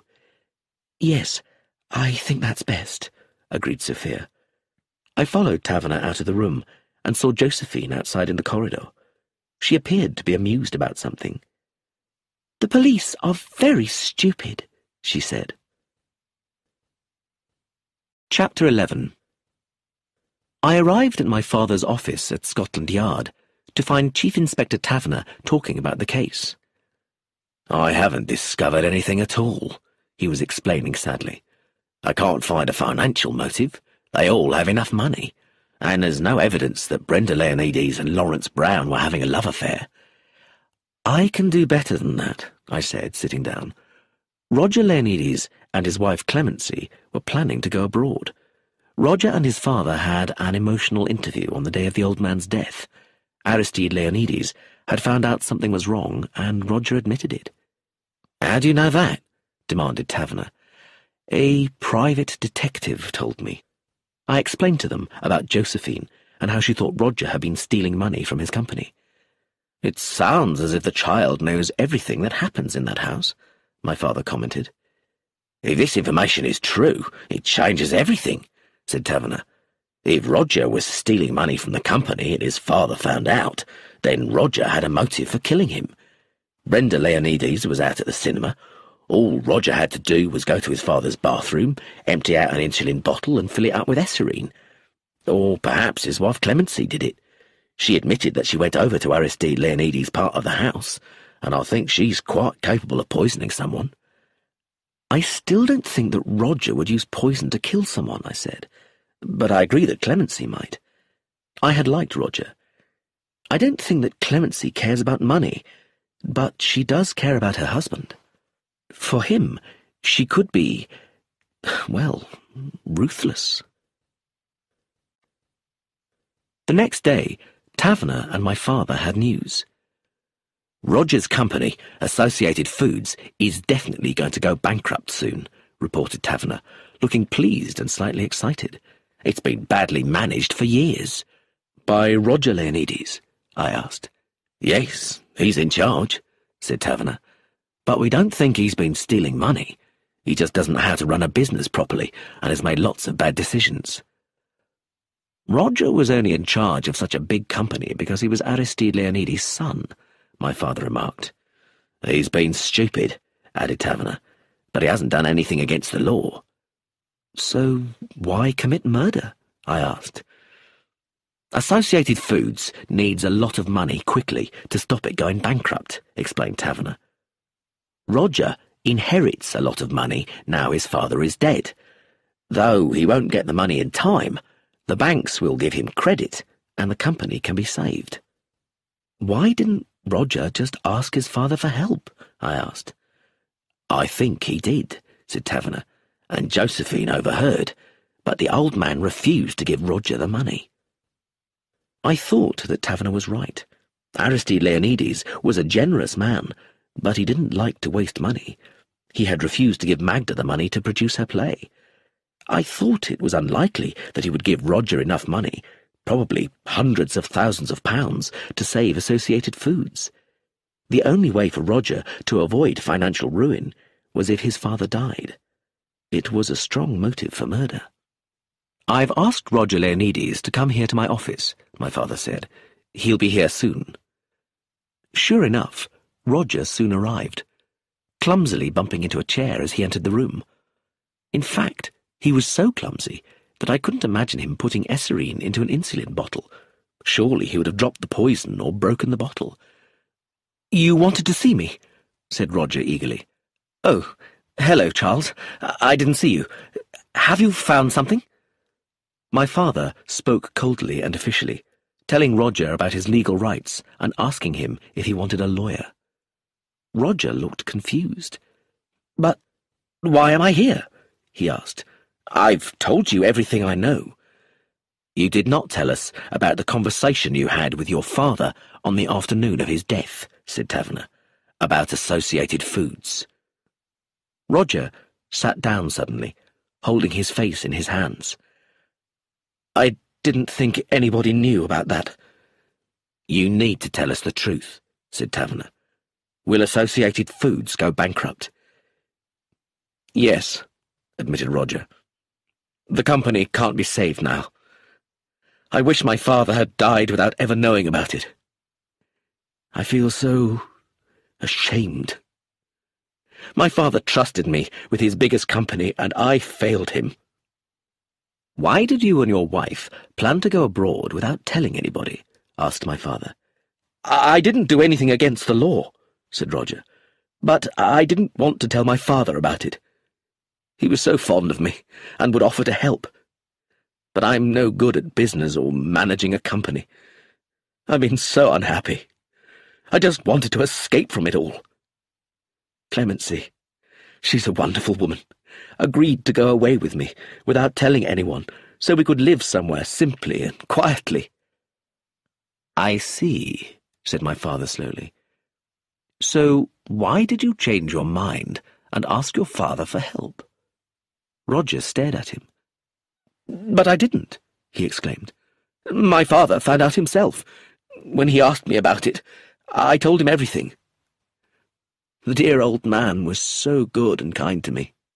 He insisted on giving me the money to save Associated Foods, and wrote to his bank straight away. Your father agreed to help you? asked Taverner, astonished. Yes, I've still got the letter, said Roger. I forgot to post it. I was so shocked and confused after Father's death. He looked in his pockets. Here, he said, finding the letter. Read it yourselves if you don't believe me. My father and Taverner read the letter eagerly. I read it later. Roger had told the truth. Aristide Leonides had asked his bank to give Associated Foods enough money to save the company from bankruptcy. What did you do after your father wrote this letter? asked Taverner. I rushed back to my own part of the house and told Clemency what had happened and how wonderful my father had been. About half an hour later, Brenda came rushing in saying that father was ill, just as I told you before. So you didn't visit your father's bathroom at any time? my father asked. I don't think so. No, no, I, I'm sure I didn't. Why? You don't think that I... My father stood up and managed to interrupt. Thank you, Mr. Leonides, he said, shaking Roger's hand. You have been very helpful, though you should have told us all this before. When Roger had left, I looked at the letter. So Aristide Leonides was going to help Roger, said my father. That means that Roger had no motive for murder. In fact, he paused. If Aristide Leonides had lived a day longer, Roger and Associated Foods would have been all right. But because he died so soon, the company will now go bankrupt. Maybe someone wanted Roger to fail, suggested Taverner. What about the old man's will? my father asked. Who actually gets the money now? Taverner sighed. The lawyers can't tell us. There is an old will, but it was cancelled when the new will was made. But if Aristide Leonides died without a legal will, then his wife, Brenda Leonides, gets everything. She's the most likely person to have played tricks with the will, though I still have no idea how. I didn't know either. We were looking at the problem from the wrong way round. Chapter 12 Chief Inspector Taverner left, and my father and I were alone. After a short silence, I asked, Dad, what are murderers like? Now that murder had come so close to me, I wanted to know more about his previous police experience. My father looked at me thoughtfully. Some of them, he smiled sadly, are very nice, ordinary people, just like Roger Leonides. I looked surprised. Oh, yes, he continued. Murderers can be ordinary people who want something so much that they kill for it. They don't think about what happens next. And some people, although they know that murder is wrong, don't feel that it's wrong. They think that it wasn't their fault, or that their victim deserved it, and they're never really sorry for what they did. Do you think, I asked, that someone could kill old Leonides if they hated him? Hated him for a long time? It's possible, but unlikely, my father replied, looking at me curiously. People are more likely to kill those they love than those they hate. Only people you love can make your life impossible. But this doesn't help you, does it? he added. What you really want to know is how to recognize a murderer in a house full of people who seem pleasant and normal. Yes, that's right, I admitted. My father paused to think. The one thing that all murderers have in common, he said finally, is that they are all vain. They are frightened of being caught, but they still want to show off about how clever they are and a murderer wants to talk. To talk? Yes, because they're very lonely, explained my father. They can't tell anyone about what they did or how clever they are, and they will never be able to tell. So they like talking about the murder. I think, Charles, that you should go back to Three Gables and get everyone to talk to you. Everyone in the family, guilty or innocent, will talk to you because they can say things to you that they can't say to each other. And if the murderer talks, he or she might make a mistake and say too much. I told him then what Sophia had said about how the family was ruthless in different ways. He was very interested. Yes, he said, most families have a weakness, And it sounds as if both the de Haviland family and the Leonides family have a different kind of weakness. But I wouldn't worry too much about that, Charles. The best thing to do is to go and talk to them all. Only the truth can help you, and your Sophia. As I went out of the room, he added, And look after the child, Josephine. We don't want anything to happen to her. I stared at him. Come on, Charles, think, he said. There's a murderer in that house, and Josephine seems to know everything that happens there. She certainly knew all about Roger, I agreed, and her story about what she overheard seems to be correct. Yes, said my father. A child's evidence is usually very reliable, even if we can't often use it in court. But children like to show off. If you want Josephine to tell you anything else, don't ask her questions. Instead, pretend that you think she doesn't know anything. But take care of her, he added. It's possible that she knows too much. Chapter 13 As I went back to the crooked house, as I called it in my own mind, I felt slightly guilty. I hadn't told my father and Chief Inspector Taverner what Josephine had said about Brenda Leonides and Lawrence Brown writing love letters to each other. I told myself that it probably wasn't true. But really, I didn't want to find any evidence against Brenda. I felt sorry for her, surrounded by a family who disliked her so much and if there were any love letters, Taverner would soon find them. And perhaps Josephine was wrong. Though, when I remembered the intelligence in her small black eyes, I doubted it. I had phoned Sophia earlier. Please come, Charles, she had said. The police keep searching the house, and we're all very nervous. I'll go crazy if I can't talk to someone. There was no one in sight as I drove up to the front door, which was open. As I stood there, wondering whether to ring the bell or to walk in, I heard a noise behind me. I turned my head and saw Josephine standing by the hedge eating a large apple and looking at me. Hello, Josephine, I said. She didn't answer and disappeared behind the hedge. When I followed, I found her sitting on a wooden seat, swinging her legs. She looked at me coldly and didn't speak.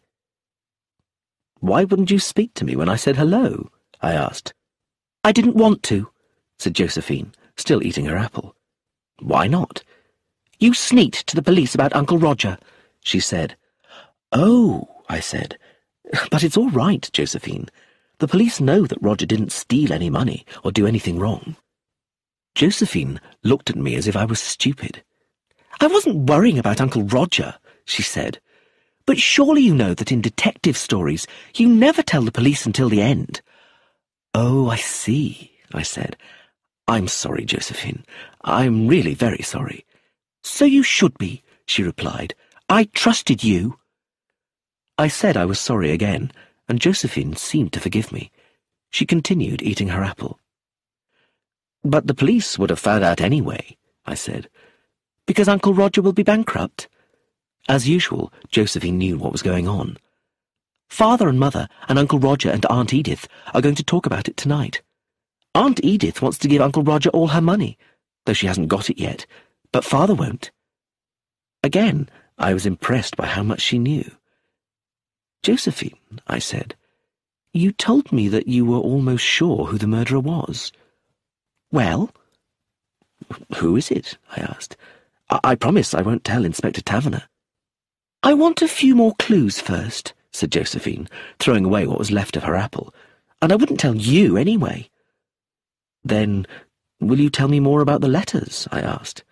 What letters? The letters you said Lawrence Brown and Brenda wrote to each other. I made that up, said Josephine. I often make things up. It amuses me. I stared at her, and she stared back. Somewhere, not very far away, a twig snapped with a sudden noise. Rather late, I remembered my father's advice. Oh, well, I said, it's only a game for you. You don't really know anything. Josephine looked at me angrily, but she kept her mouth firmly shut. I got up. I must go and find Sophia now, I said. Come along.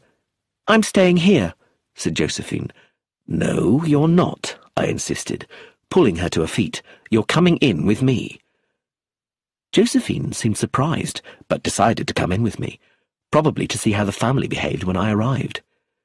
It wasn't until I walked through the front door that I realized why I hadn't wanted Josephine to stay outside. It was because of the sudden snapping of a twig.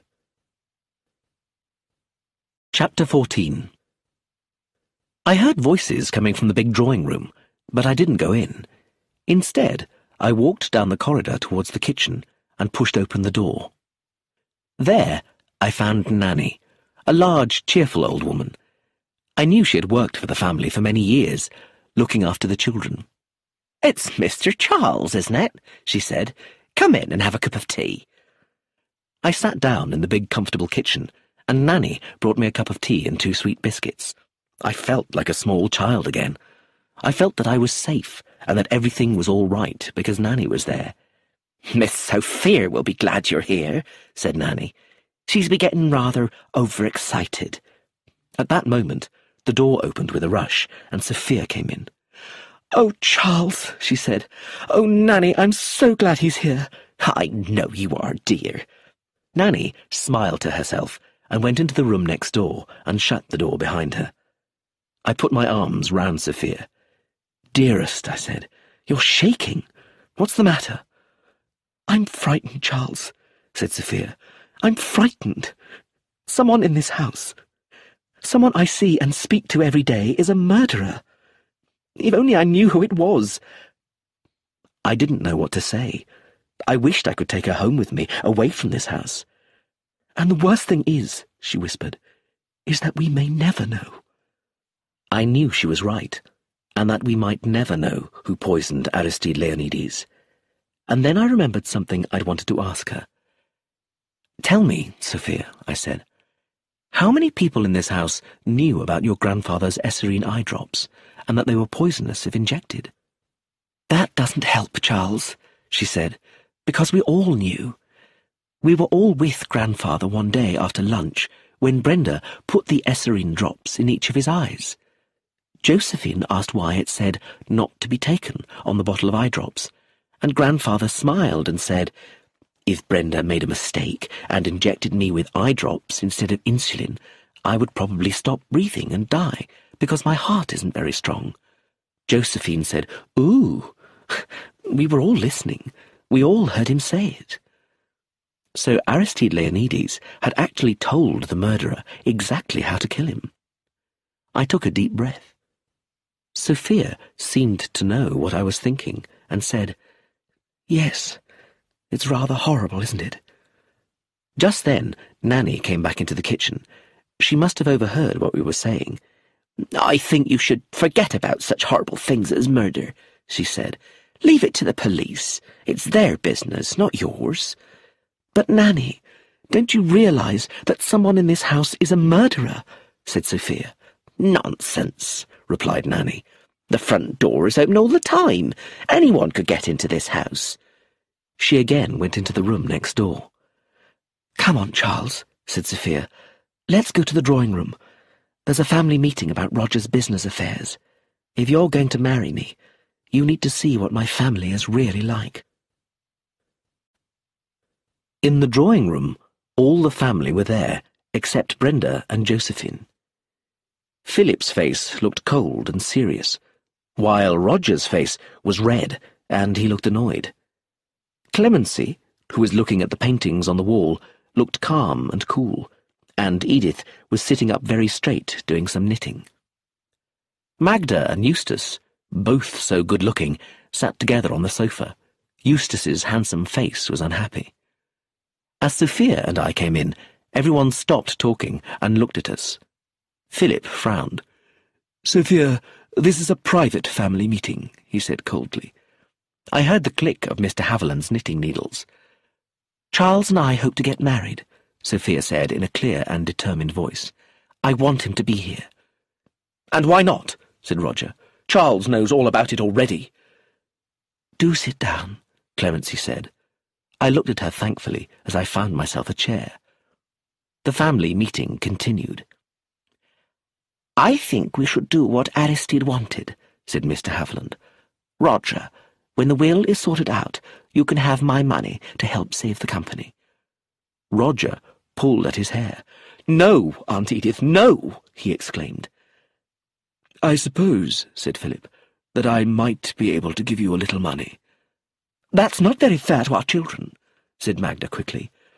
I'm not going to take anyone's money, Roger said excitedly. Of course he's not, agreed Clemency.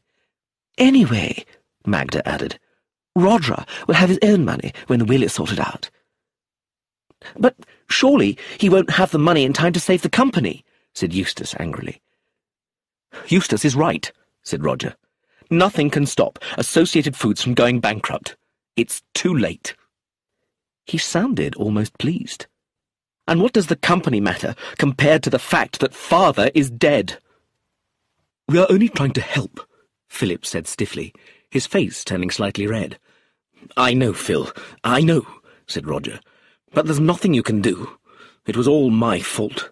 I was in charge. Yes, Philip said slowly, looking at him. You were in charge. Edith de Haviland stood up. I think we've talked enough about this, she said, with such power in her voice that everyone went quiet. It seemed that the family meeting was over. Magda and Eustace got up and left the room, while Roger put his hand on Philip's arm and said, Thanks, Phil, for trying to help. The brothers went out together, followed by Sophia, who said that she would get my room ready, as I was staying the night. Edith de Haviland put away her knitting. She looked towards me as if she was going to speak, but she changed her mind, sighed, and went out after the others. I was left alone with Clemency, who was looking out of the window, and went to stand beside her. I'm glad that's over, she said. Magda arranged it all, just like a play. Act two, the family meeting. There was nothing really to discuss. She sounded pleased about it rather than sad. Don't you understand? she asked. We're free. At last. Roger has been unhappy for years. He was never any good at business, and it broke his heart because he failed his father. Roger loved his father a great deal. They all did. Clemency turned to look at me. It's ridiculous to think that Roger would have killed his father, especially for money. Roger was actually glad when he knew the company would go bankrupt. He was looking forward to our new life. Where were you going? I asked. To Barbados, she replied. A cousin of mine died recently and left me a small house and some land. We'll be very poor, but we'll be together, away from all Roger's family and I don't mind not having much money. I don't like money. I was happy with my first husband when we were poor, and I didn't love him like I love Roger. She closed her eyes and smiled to herself. I could tell how strong her feelings were, and I was sure that Clemency meant what she said. She wasn't interested in money or living in luxury. Are you still going to Barbados? I asked. Oh, yes as soon as the police will let us. When everything has been sorted out, we can leave. I hope it doesn't take too long. Clemency, I said, do you have any idea who did this? Any idea at all? She gave me a strange look, and when she spoke, her voice sounded stiff and awkward. I'm a scientist. I deal with facts, not guesses. All I can say is that Brenda and Lawrence are the obvious suspects. So you think they did it? Clemency shrugged her shoulders and stood for a moment as if she was listening. Then she went out of the room, passing Edith de Haviland on the way. Edith came straight over to me. I want to talk to you, she said, about Philip. I hope you didn't get the wrong idea about him. Philip is rather difficult to understand. He may seem cold, but he isn't really. I didn't really think, I began. She didn't let me speak. Philip is really a dear, when you understand him. You see, Aristide loved all his children dearly, but Roger, the oldest, was his true favourite. And I think Philip felt it. And though he always hides his feelings, he suffered, as children do. He's always been jealous of Roger, even if he doesn't realize it himself.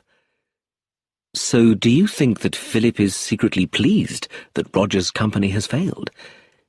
Yes, said Miss de Haviland. I do think that. And it upset me that Philip didn't want to help Roger straight away. Why should he? I said. Roger is a grown man with no children to think about.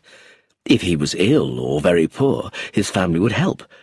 But I'm sure Roger would prefer to start a new life without their help. Yes, I'm sure he would, said Miss de Haviland, and so would Clemency. She looked at me. I realize that this is all very difficult for Sophia, she continued. I'm sorry that she has so much to deal with when she is still so young. I love them all, you know, Roger and Philip, and now Sophia, Eustace and Josephine. I love all my sister's children and grandchildren. She paused for a few moments.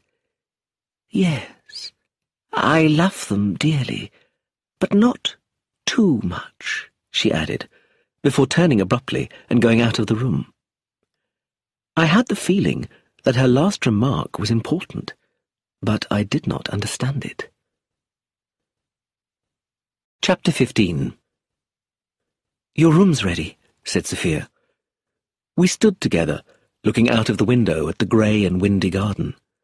It was getting dark outside, and as we watched, two people came through the hedge and walked back towards the house.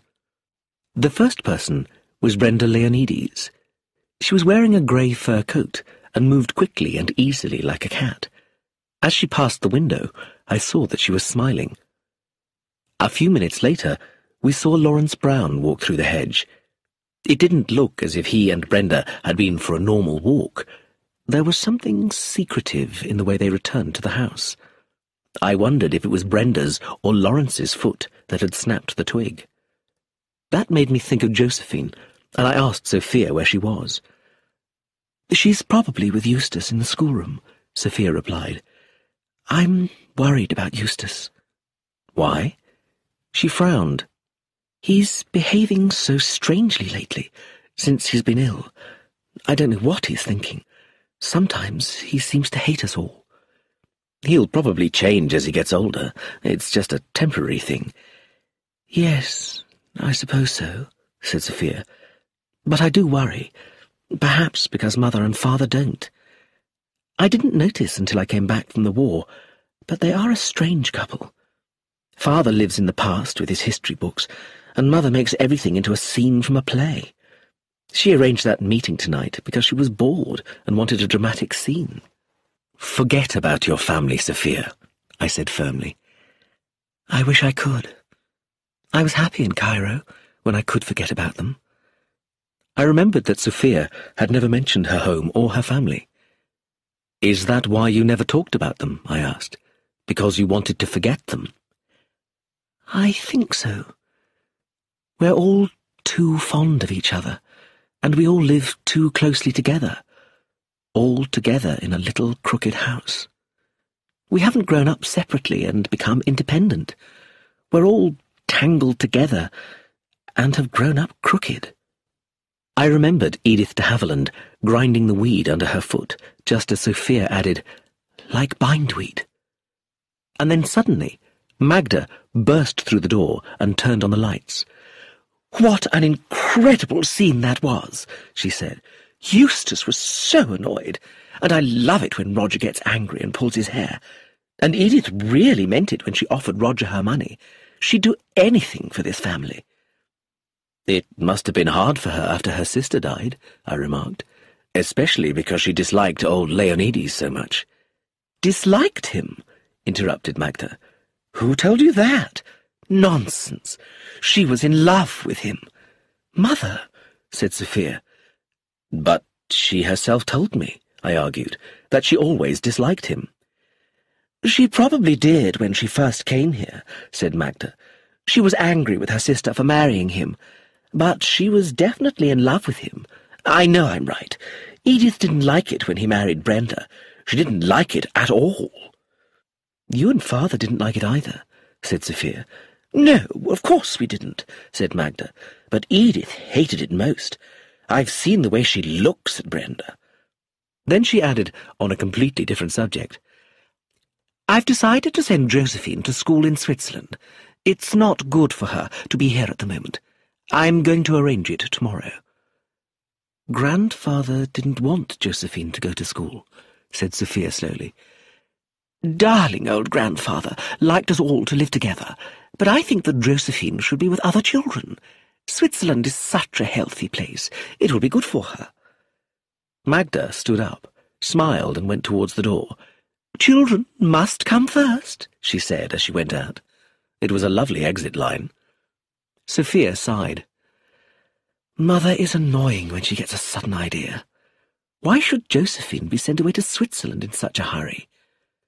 It might be good for Josephine to go to school, I said. Grandfather didn't think so, argued Sophia. I was slightly irritated.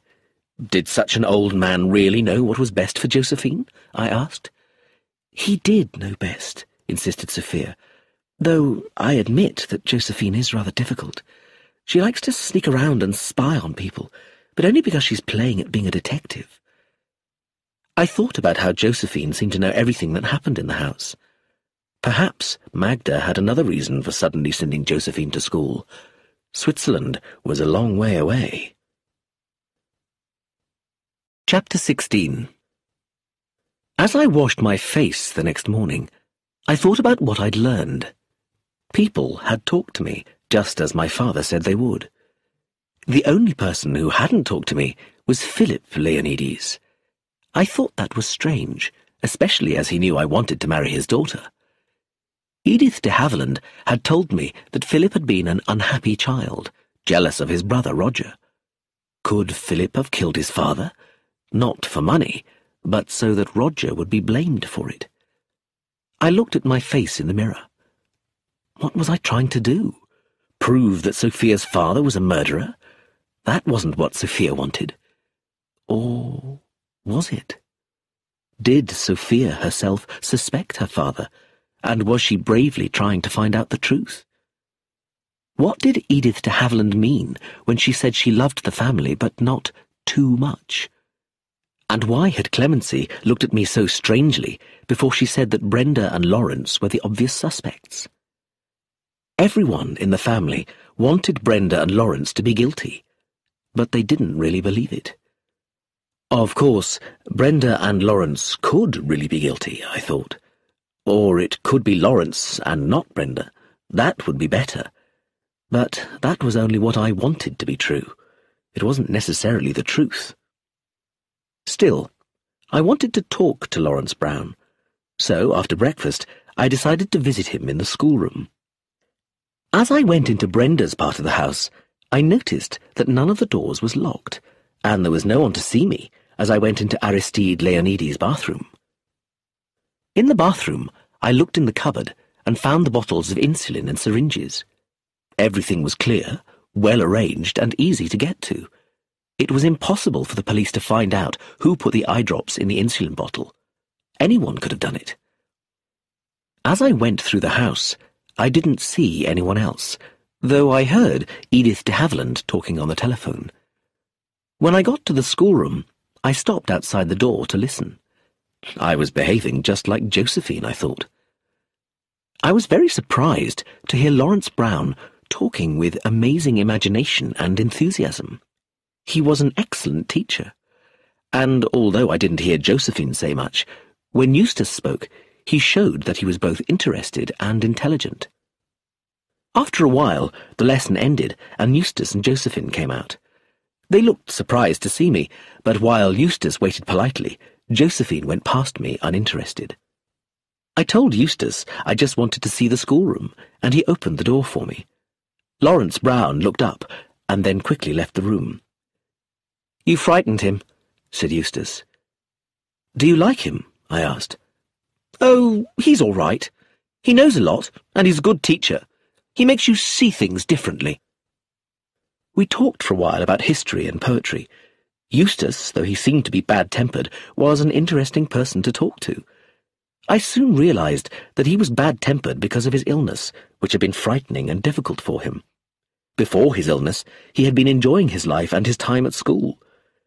I wish I was well enough to go back to school, he told me. I was going to be in the football team. I hate staying home and having lessons with Josephine. She's only twelve. I said that Josephine was quite an intelligent girl for her age. I don't think so, said her brother arrogantly. She's pretending to be a detective at the moment, sneaking around and writing things down in a little black book. It's just silly. Mother is quite right to send her to school. Won't you miss her? I asked. Miss Josephine? Of course not, said Eustace. She's only a kid.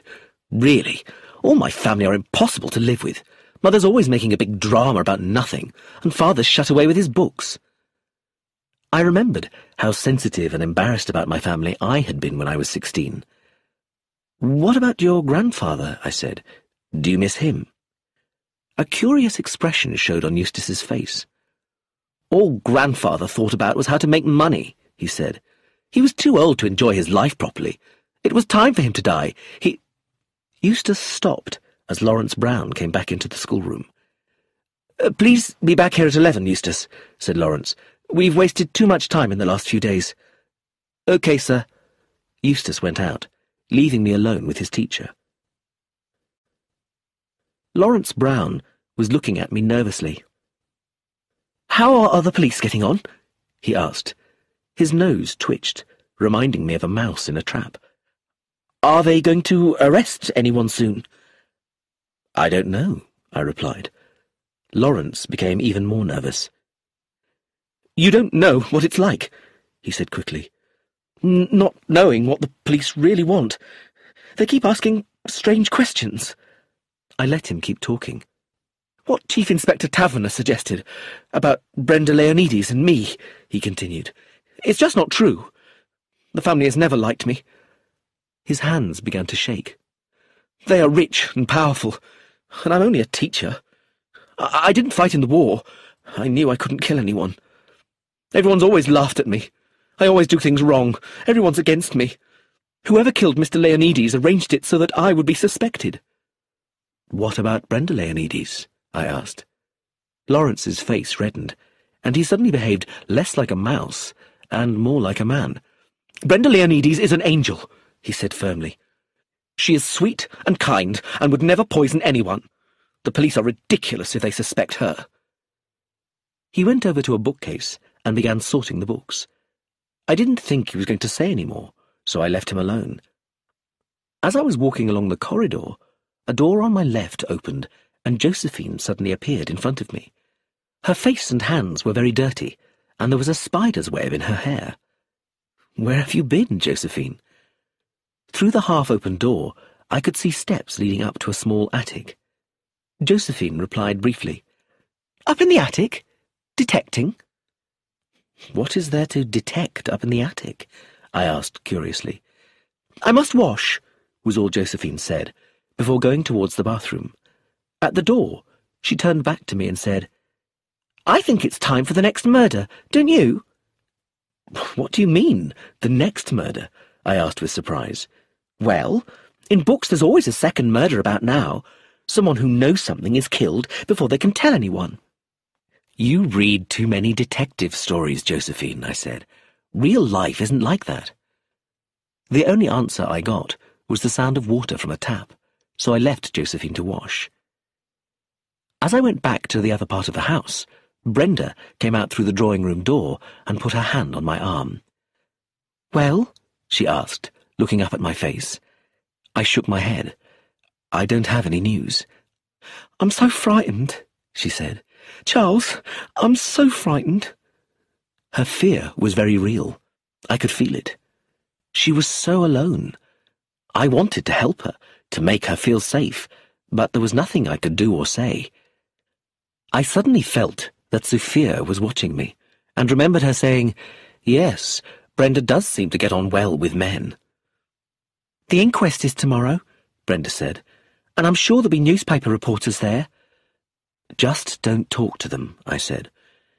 Perhaps you should get a lawyer, Brenda, to look after your interests and advise you what to say and do. You see, I added, You're very much alone. Her hand held my arm more closely. Yes, she said. You do understand, Charles, and you have helped. I went downstairs feeling warm and satisfied. Then I saw Sophia standing by the front door. You've been a long time, she said coldly. Your father telephoned. He wants you to go back to London. Did he say why? Sophia shook her head. Her eyes were anxious. Don't worry, darling, I said, putting my arm around her. I'll soon be back. Chapter 17 When I arrived at his office at Scotland Yard, I found my father talking to Chief Inspector Taverner and Mr. Gaitskill, the lawyer, who seemed a little upset. Oh, hello, Charles, said my father as I came in. Something rather surprising has happened. Surprising? exclaimed Mr. Gaitskill. This morning, continued my father, Mr. Gaitskill received a letter from someone called Mr. Agrodopoulos, was an old friend of Aristide Leonides. In with the letter was Aristide Leonides' will. Mr. Leonides had asked Mr. Agrodopoulos to send the will to Mr. Gaitskill after his death. I have been Mr. Leonides' lawyer for over forty years, said Mr. Gaitskill. Why didn't he trust me? He was obviously upset. When Mr. Gaitskill opened the will, my father added, he decided that we should see it at once. It's not the same will that I prepared, said Mr. Gaitskill. Mr. Leonides wrote it himself. A very unprofessional thing to do. This was all very interesting, but I didn't understand why I was involved. Is the will different? I asked. I mean, is the money left to someone else? My father was looking at me. Chief Inspector Taverner was very carefully not looking at me. I felt slightly uneasy. I looked at Mr. Gaitskill. Am I right, he said, in saying that you are going to marry Miss Sophia Leonides? I hope to marry her, I said, but she doesn't want to become engaged at the moment. In this will, said Mr. Gaitskill, Aristide Leonides leaves his wife £100,000 and everything else to his granddaughter, Sophia Leonides. I gasped. I hadn't expected this. But why did he leave everything to Sophia? I asked. Mr. Leonides explained his reasons in this letter, which was with the will, said my father, handing me the letter to read. Dear Gaitskill, I am sorry that I have behaved so secretly. Let me explain why. I have always believed that in a family there is one strong character who looks after everyone else. In my family, I was that person, and I have been lucky enough to live a long time and take care of my children and grandchildren. But when I die, someone else must take care of the family. After much thought, I have decided that neither of my sons is the right person to do this.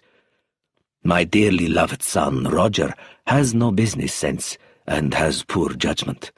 And my son, Philip, is too unsure of himself and is hiding from life. Eustace, my grandson, is very young, and I do not think that he has enough sense and self-control. Only my granddaughter, Sophia, has intelligence, good judgment, and courage, and is fair and generous.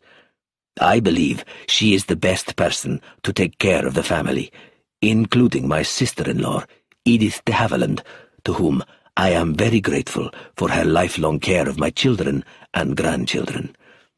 Now, I must explain why I kept my decision secret from you.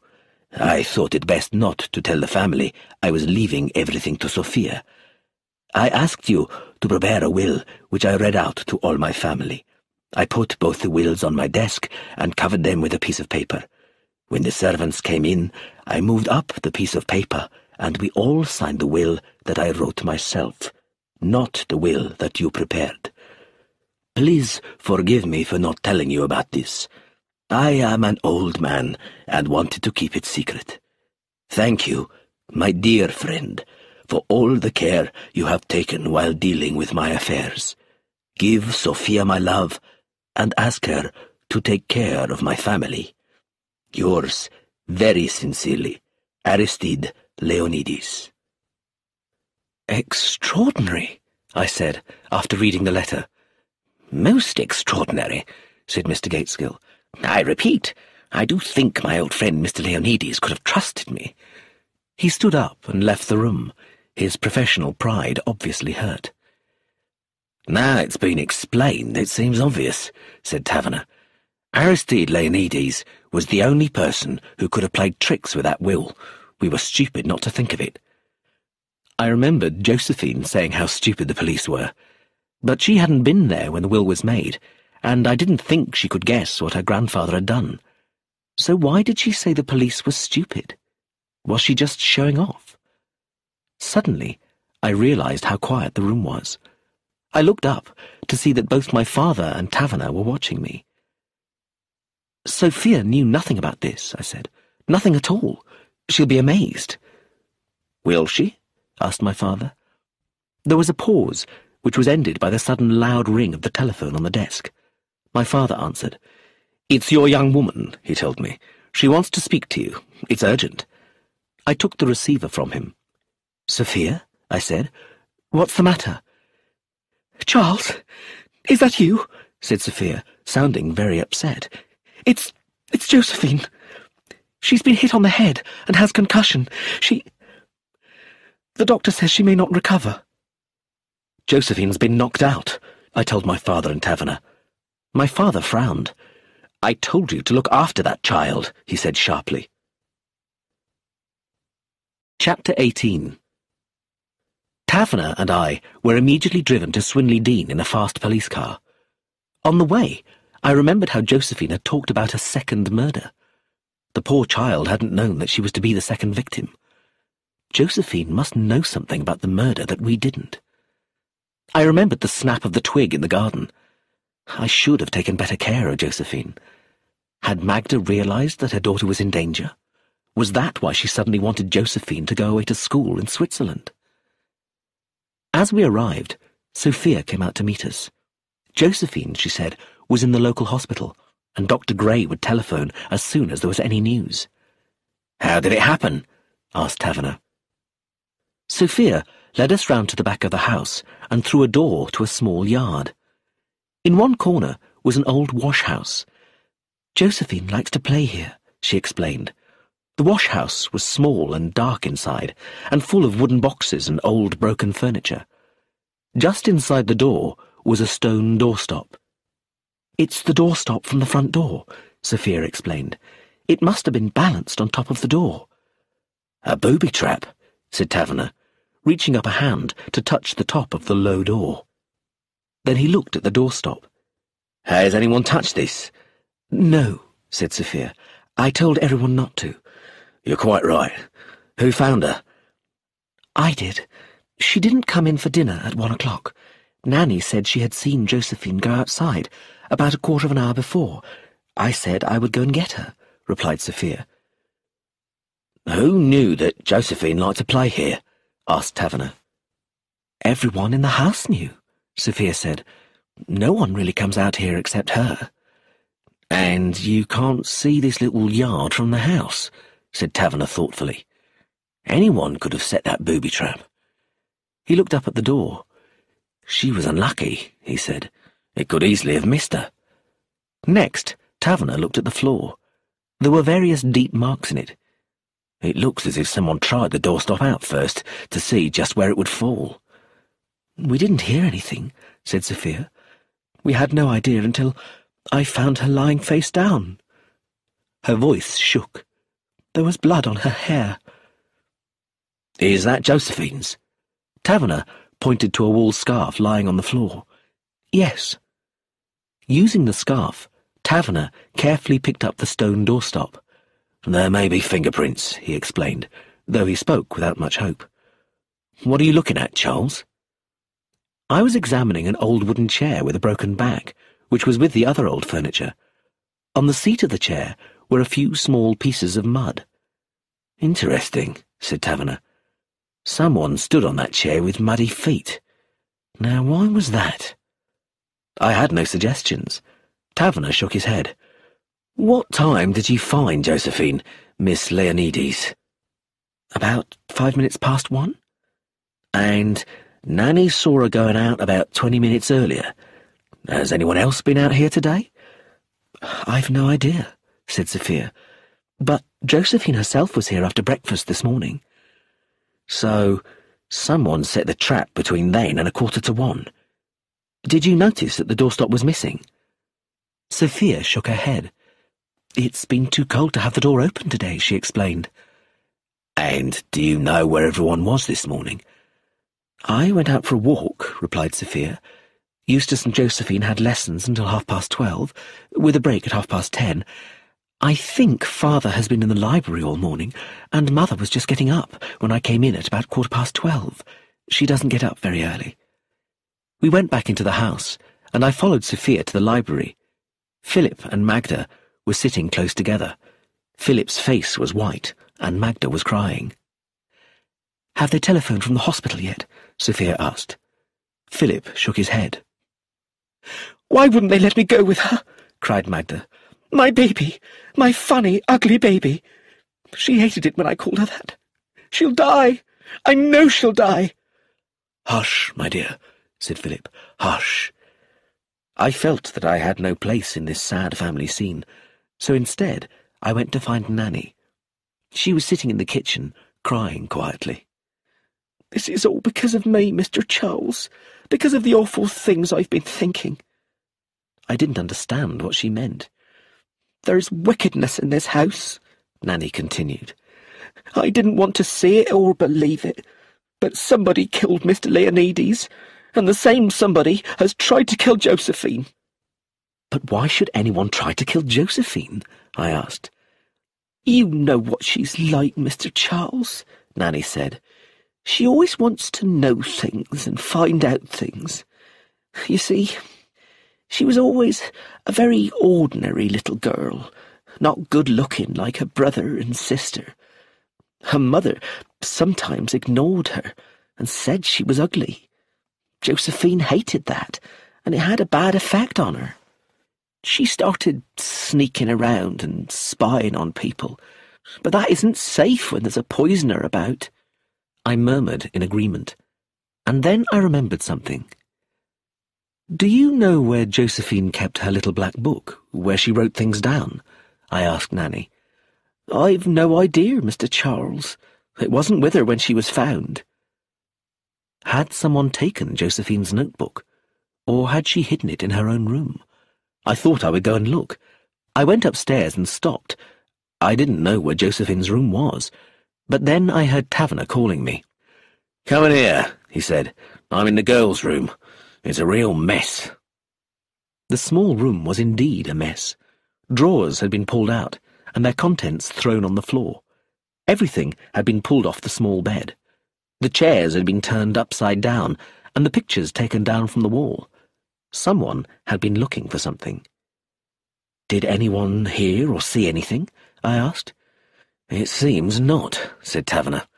I've checked, and anyone in the house could have done this, and set the booby trap. It could have been Philip, Magda, Nanny, or your girl, Sophia.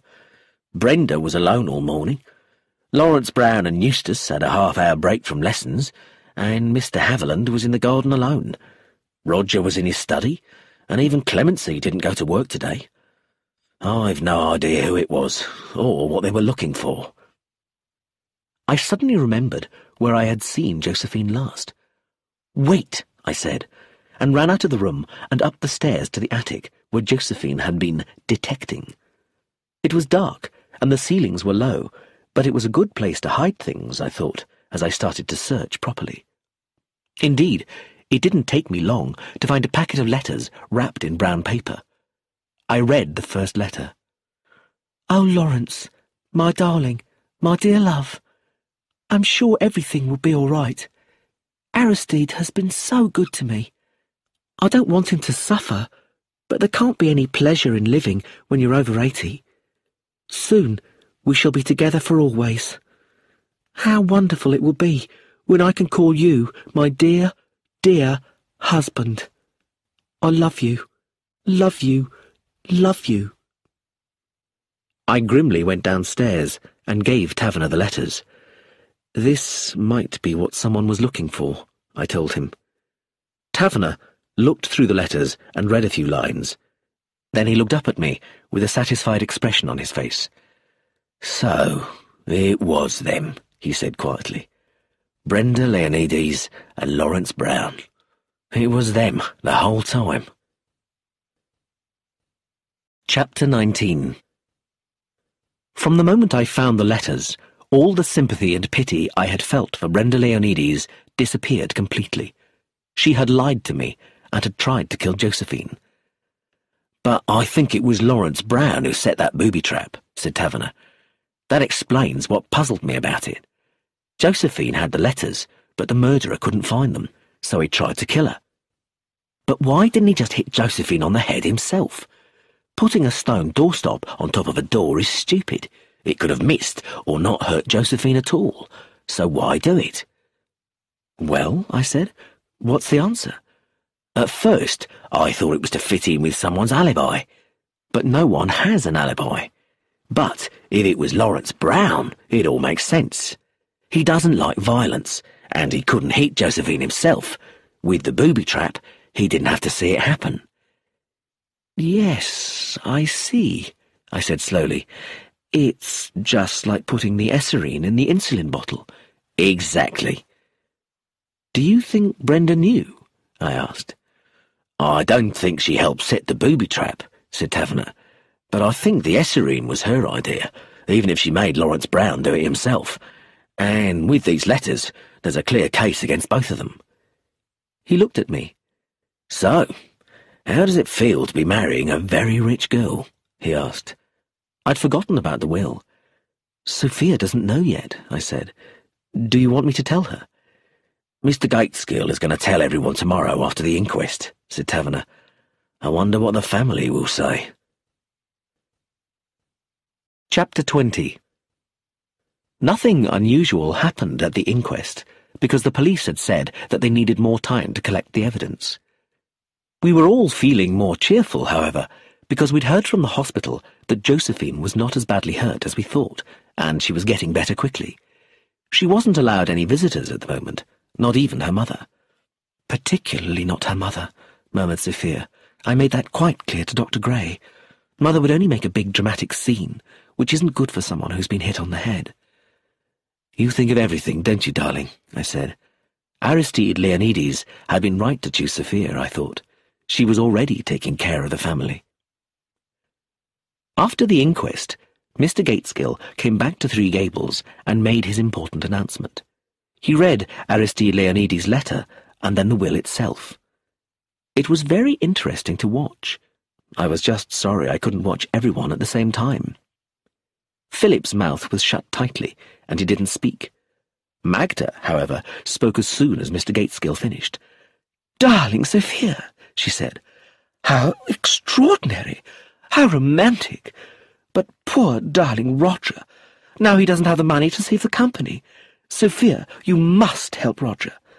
No, said Clemency. We don't want anything. Roger stepped forward clumsily. We don't want any money he said, holding Sophia's hands. Clemency and I are going to Barbados to live a quiet life. He smiled. But if I ever need anything, I'll ask the head of the family. But, Roger, you can't just go bankrupt and leave the country, said Edith de Haviland. It makes the family and Sophia look bad, as if we didn't try to help you. Roger put his arms round his aunt and hugged her. Aunt Edith, he said, you are a darling, but you don't understand what Clemency and I want. None of you, added Clemency, annoyed, understands Roger. You never have, and you never will. Come on, Roger. They left the room as Mr. Gaitskill pretended to sort his papers.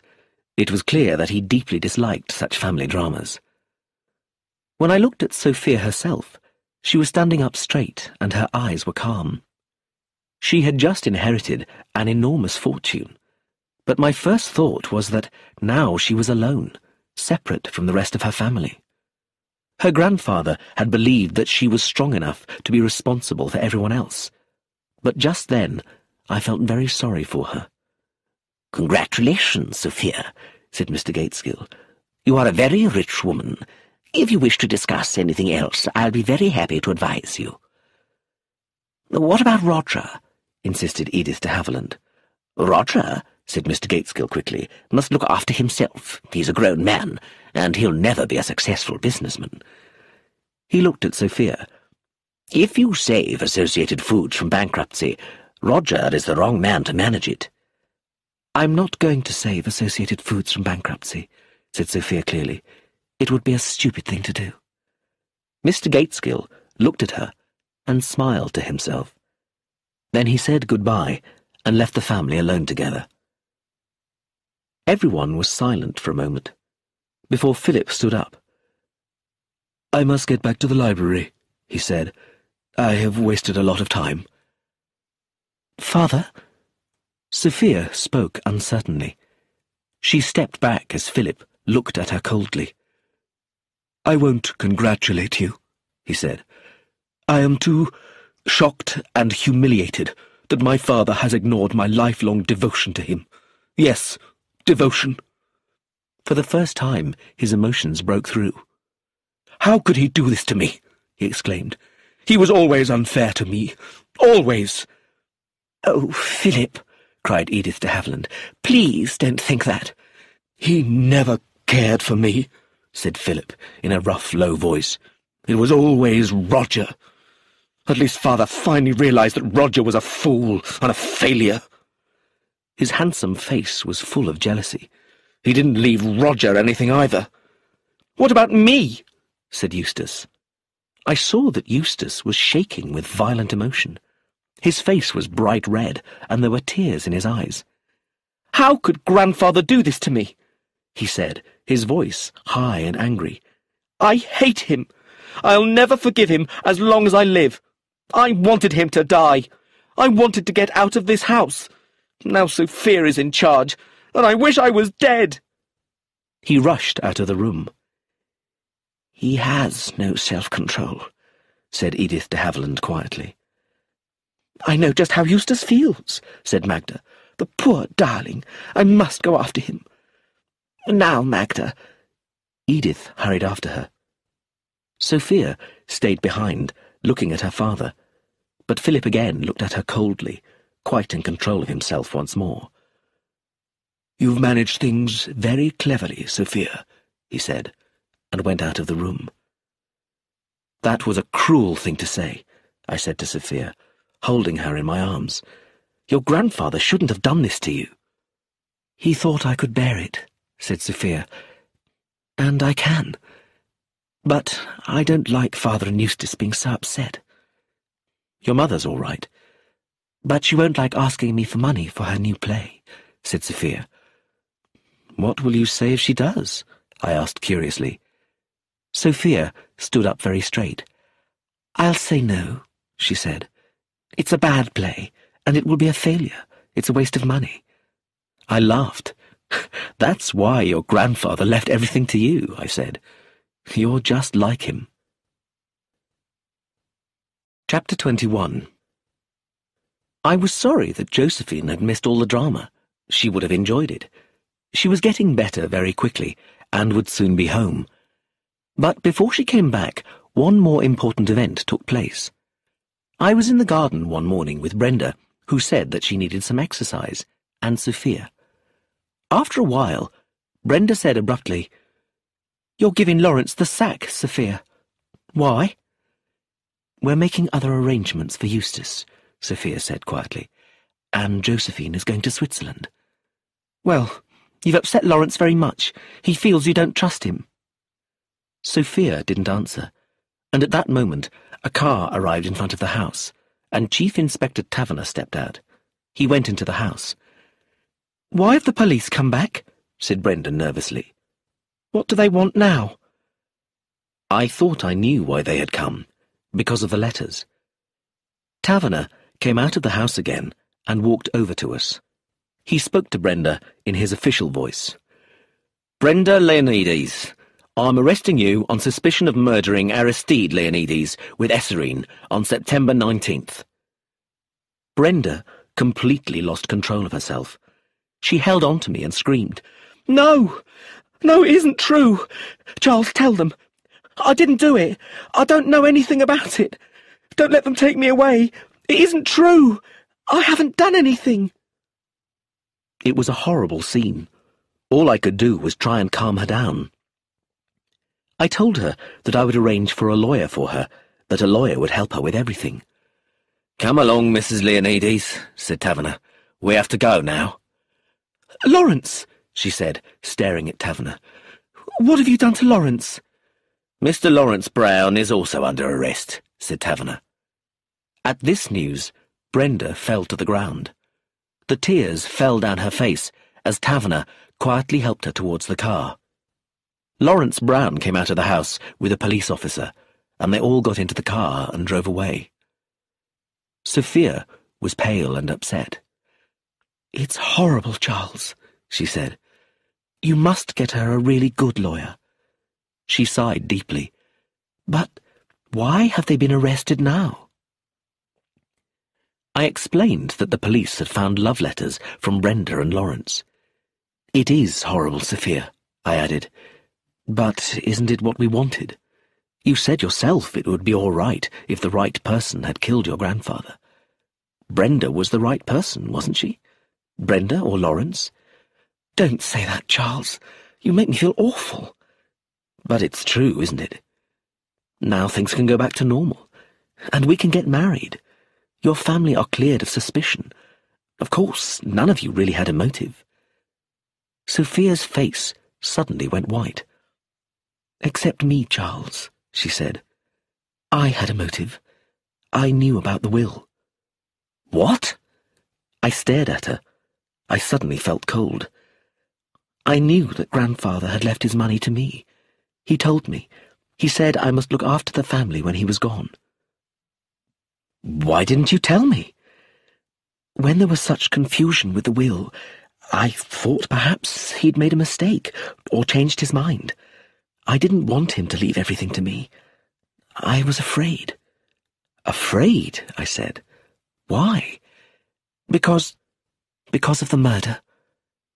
So Sophia had been afraid that she would be suspected of murder. I understood now why she had refused to be engaged to me, and why she had desperately wanted to know the truth. As we walked back towards the house, I suddenly remembered something Sophia had said, that she supposed she could murder someone, but only for something really important.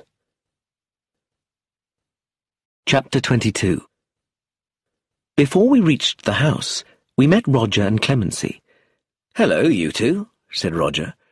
I see the police have arrested that horrible woman and her boyfriend at last. I hope they're both hanged. Clemency frowned. Don't be so cruel, Roger, she said. Cruel? said Roger. Rubbish. They poisoned a helpless old man. I loved my father, don't you understand? I loved him. I know, Roger, I know, said Clemency. We went towards the house.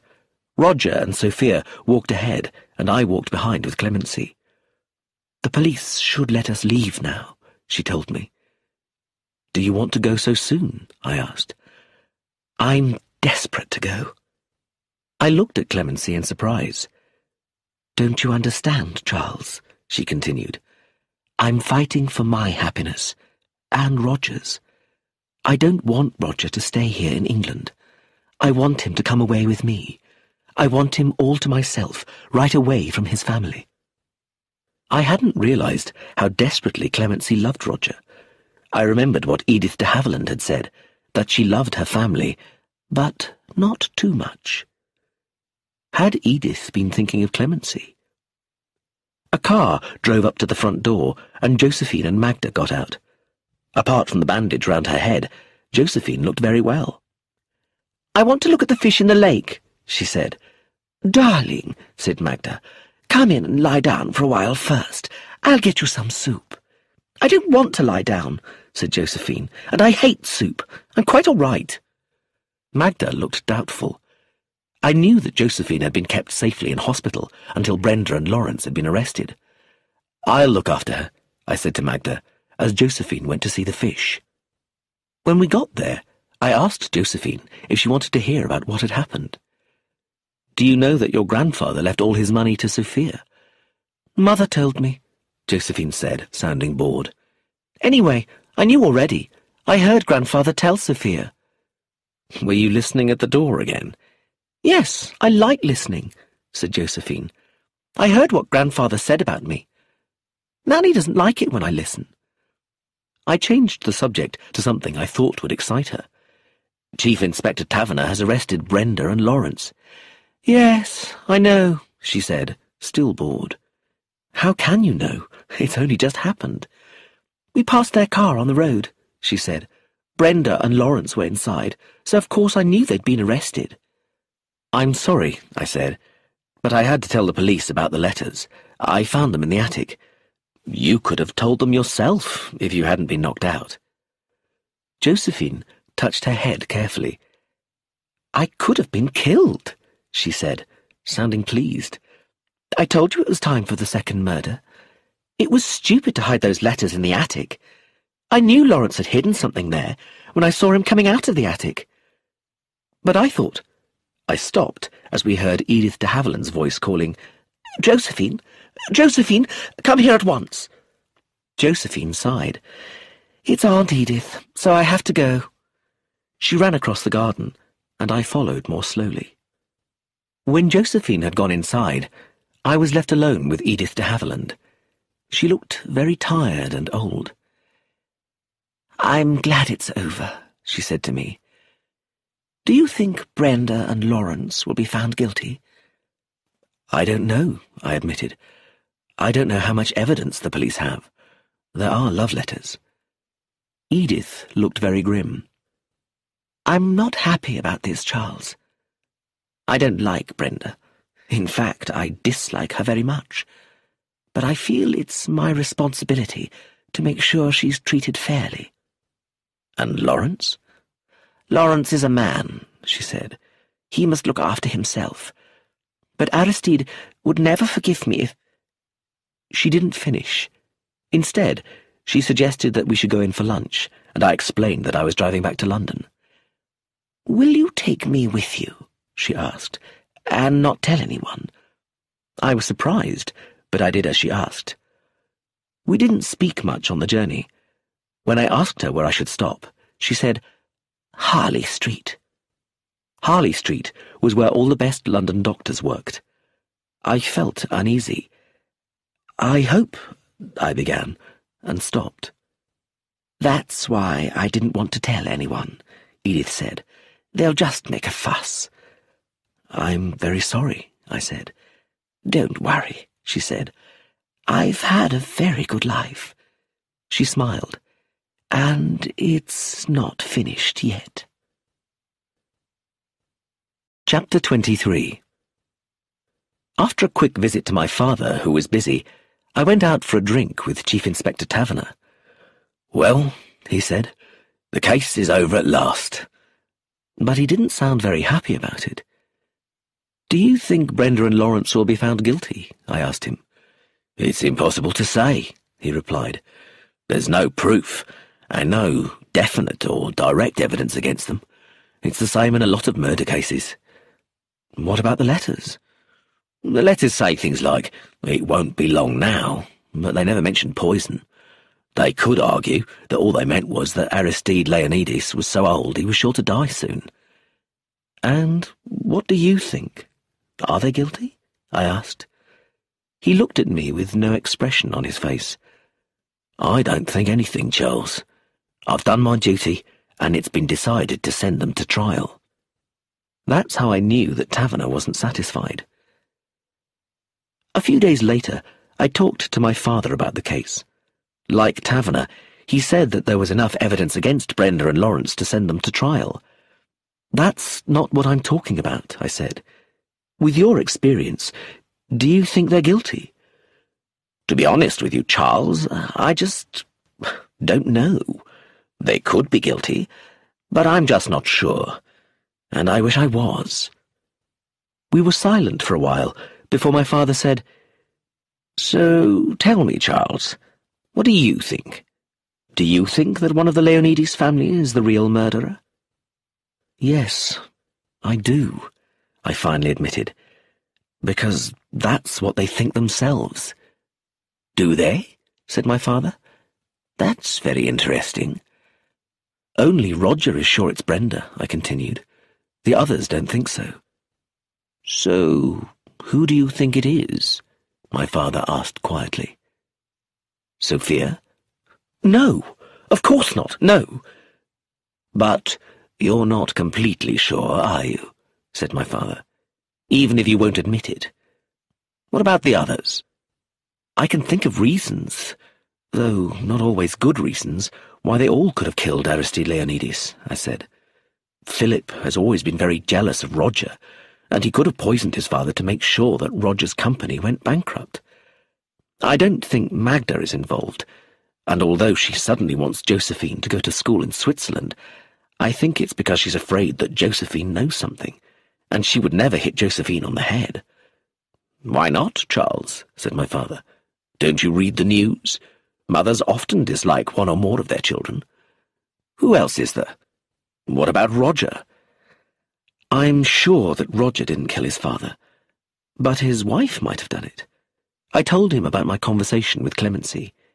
And Edith, I continued. Edith de Haviland might have done it, if she had a good reason. But I don't know why. Would she hit the child on the head? No, I said slowly. I don't believe she would. Which reminds me, Josephine said something that doesn't fit in, but I can't quite remember what it was. You'll remember soon, said my father. Anyone else? Well, I said, it could be Eustace. He didn't like his grandfather, and he has been behaving very strangely. And he's the only one who I think could knock out Josephine if she knew something about him. And she does seem to know everything. She writes it down in a little book. I stopped. What's the matter? asked my father. I've just remembered what Josephine said, I exclaimed. We thought that Josephine's room was searched because of the letters. But Josephine told me that it was Lawrence who hid the letters in the attic. She saw him and found the letters, but left them where they were. Well, that means that it wasn't the letters that someone was looking for in Josephine's room. It must have been something else. Her little black book where she writes everything down. If Josephine still has that book... I stood up. Then she still isn't safe, said my father. Is that what you were going to say? Yes, I said. She won't be out of danger until she leaves for Switzerland. I think you're right about the danger, said my father. You should go to Three Gables at once. Is it Eustace? I asked him desperately. Clemency? I think the facts point clearly in one direction, my father said gently. I'm surprised you don't see it yourself. I think... At that moment, a police officer knocked on the door. I know you asked not to be disturbed, sir, but Miss Leonides is on the telephone. She says it's urgent. I quickly picked up the telephone and heard Sophia's voice say desperately, Charles, it isn't over. The murderer is still here. What's wrong, Sophia? Is it Josephine? It's not Josephine, said Sophia. It's Nanny. Josephine didn't drink her cocoa and left it on a table. Nanny didn't want to waste it, so she drank it. Poor Nanny. Is she very ill? Oh, Charles, said Sophia. She's dead. Chapter 24 It was like a terrible dream. Taverner and I drove back quickly to Swinley Dean, just as we had before. On the journey, I kept saying to myself that it hadn't been Brenda and Lawrence. They had fallen in love with each other and written romantic letters, but they hadn't poisoned Aristide Leonides or Nanny. As we went through the front door, I saw a big pile of luggage in the hall. Clemency came down the stairs. You're just in time to say goodbye, Charles, she said. We're leaving tonight. But surely you can't go now, I said with surprise. Nanny is dead. Nanny's death has nothing to do with us, said Clemency.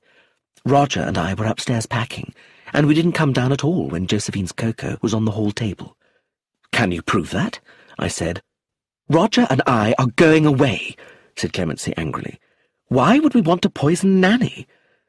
You might not have meant to poison Nanny. We wouldn't poison Josephine either. But Josephine knows a lot about people, I said. She... I stopped as Josephine herself appeared eating an apple. Her eyes shone with excitement. Nanny's been poisoned, she said. Just like grandfather. It's very exciting, isn't it? Aren't you upset about it? I demanded. Didn't you like Nanny? Not really. She was always telling me not to do things. Do you like anybody, Josephine? asked Clemency. I love Aunt Edith, Josephine said. I love her very much. And I could love Eustace if he let me, but he's so horrible to me. I won't tell him what I found out, that now I know. There was a moment's silence. Josephine stared at Clemency. I heard a noise from behind one of the doors, but when I opened it, there was no one there. I felt uneasy. As Edith de Haviland came down the stairs, I took hold of Josephine's arm and led her firmly into an empty room. I made her sit down in a chair while I sat opposite her. Now, Josephine, I said, we're going to have a talk. What exactly do you know? Do you know who poisoned your cocoa? Josephine nodded. And you know who poisoned your grandfather? Josephine nodded again. And who knocked you on the head?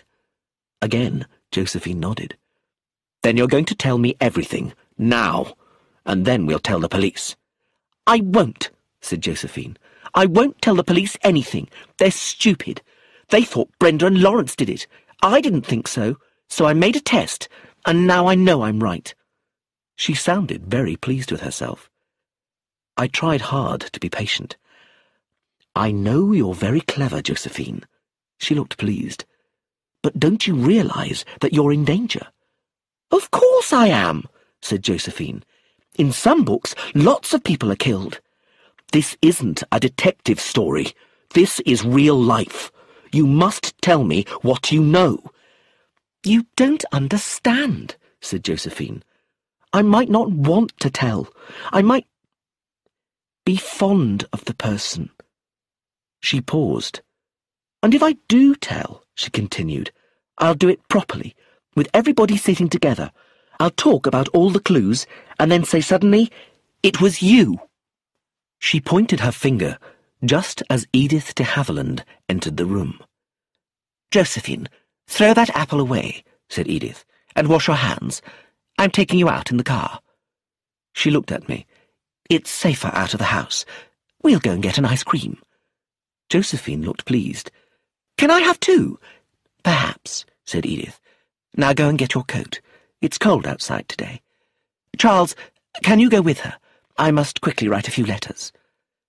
She sat down at the desk, and I went upstairs with Josephine. Sophia came into the room, looking pale and nervous, as Josephine was getting ready. Charles, she said with surprise, I didn't know you were here. I'm going out with Aunt Edith, said Josephine importantly. We're going to have ice creams. Sophia frowned as we went back downstairs to find Edith, who was just putting her two letters into envelopes. It's quite a nice day, said Edith. Cold, but clear. She was silent for a moment, looking down at the letters in her hand. Then she turned and kissed Sophia. Goodbye, dear, Edith said. Don't worry too much. Some things just have to be accepted. She and Josephine got into the car and waved to us as they drove off.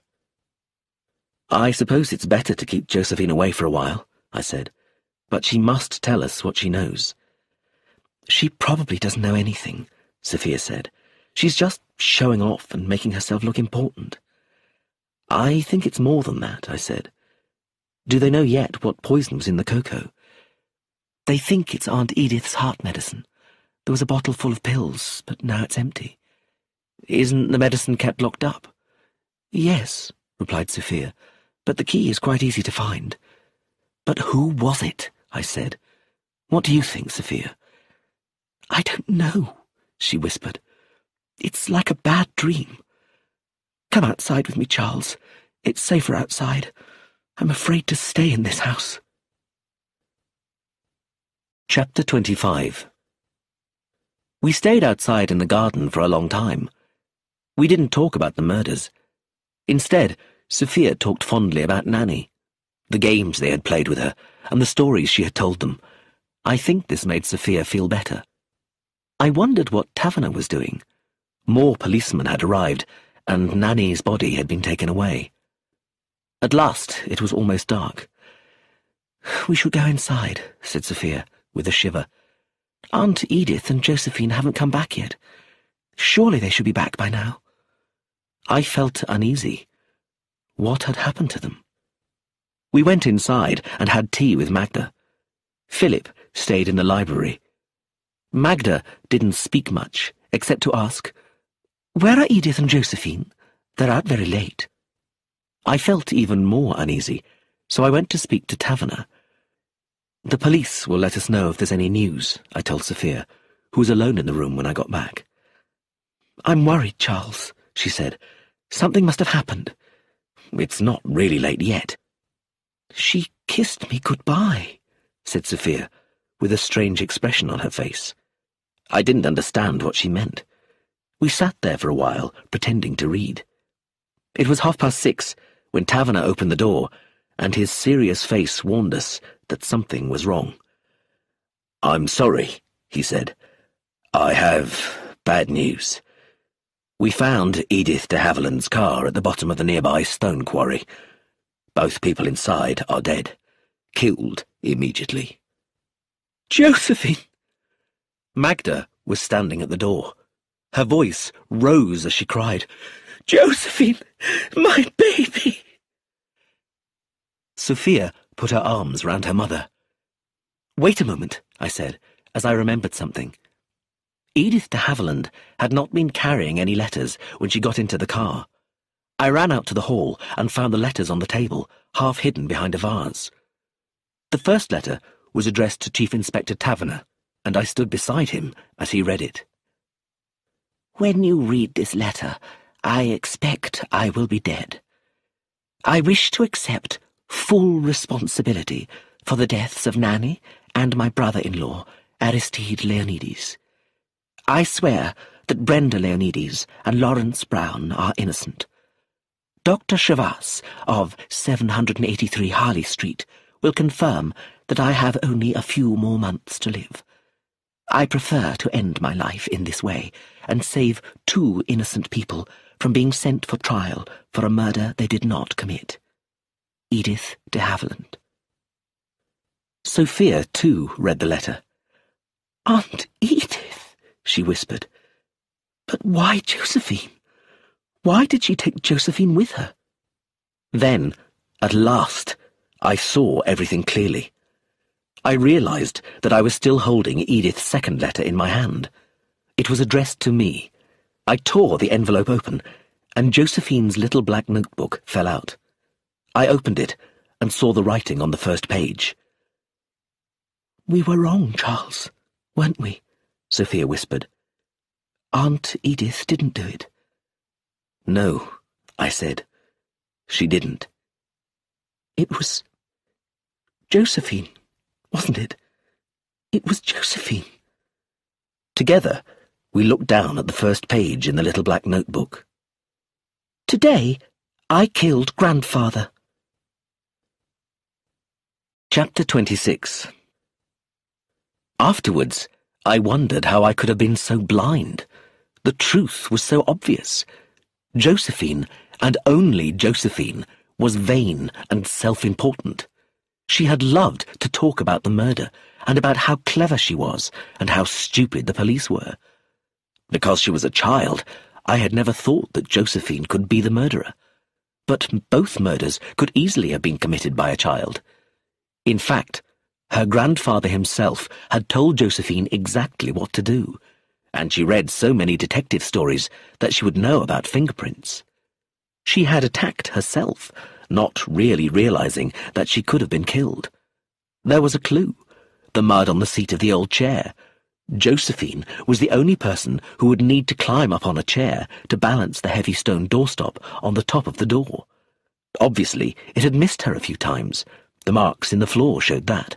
But she had tried again, using her scarf so she didn't leave any fingerprints. Finally, the doorstop had hit her.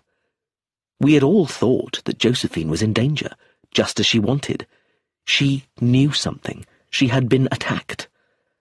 I realized how she had carefully shown me, on purpose, where the attic was, so I found the letters, and she had made the mess in her room herself. But when she came back from hospital, Josephine was unhappy. The case was over. Brenda and Lawrence had been arrested, and she herself wasn't getting much attention.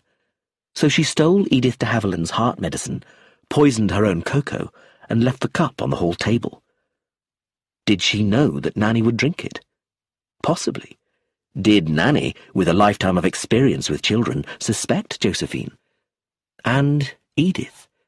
Had she suspected too, or had she known? I looked down at the letter in my hand. Dear Charles, this letter is just for you, and for Sophia, if you want to show it to her. I want someone to know the truth. I found Josephine's little notebook hidden in the garden. It confirms what I already suspected. I don't know if what I'm doing is right or wrong, but my life is nearly over, and I don't want Josephine to suffer for what she has done. If I am wrong, I hope I can be forgiven. I did it out of love. Bless you both, Edith de Haviland. I gave the letter to Sophia, and when she had read it, we opened Josephine's little black notebook. Today I killed grandfather. As we turned the pages, we saw Josephine's horribly childish motives for murder. Here are the important entries. Grandfather wouldn't let me do ballet dancing, so I made up my mind I would kill him. Then we should go to London to live, and Mother wouldn't mind me doing ballet. I don't want to go to Switzerland. I won't go. If Mother makes me, I will kill her too, if I can get some poison. Eustace made me very angry today. He says I am only a girl and that my detecting is silly. He wouldn't think I was silly if he knew it was me who did the murder. I like Charles, but he is rather stupid. I have not decided yet who I shall say has done the murder. Perhaps Brenda and Lawrence. Brenda is horrible to me, but I like Lawrence. Her last words were, I hate Nanny. I hate her. She says I'm only a little girl. She says I show off. She's making Mother send me away. I'm going to kill her too. I think Aunt Edith's medicine will do it. If there is another murder, then the police will come back and it will all be exciting again. Nanny's dead. I'm glad. I haven't decided yet where I'll hide the bottle with the pills. Perhaps in Aunt Clemency's room, or in Eustace's room. When I am dead, I shall leave this notebook behind for the Chief of Police, and they will see what a great criminal I was. I closed the book. Sophia was crying. Oh, Charles, it's so awful. She's such a monster, but I also feel so much pity for her. I felt the same. I had liked Josephine, but she had been born with something wrong with her. She was the crooked child of the little crooked house. What would have happened to her? Sophia asked me. If she had lived? I don't know, I said. Perhaps she would have been sent to a special school, or a child's prison. It's better this way, Sophia said with a shiver. But I don't like Aunt Edith taking the blame. It was her decision, I said. I don't suppose anyone will find out. Brenda and Lawrence will be free to go, and there won't be a trial. And you, Sophia, I added, holding her hands, will marry me. We'll go away together, and you won't have to think about your family for a while. You can think about me instead. Aren't you afraid to marry me, Charles? said Sophia, looking straight into my eyes. Not at all, I said. Why should I be? Poor little Josephine inherited all the worst from your families. But you, Sophia, have inherited the best. Your grandfather thought so, and he, my darling, was always right. I love you, Charles, said Sophia, and I will marry you. She looked down at the notebook. Poor Josephine. Poor Josephine, I said. What really happened, Charles? My father asked me. I never lie to my father. It wasn't Edith de Haviland, I told him. It was Josephine. My father nodded his head gently. Yes, he said. I thought it was. Poor child.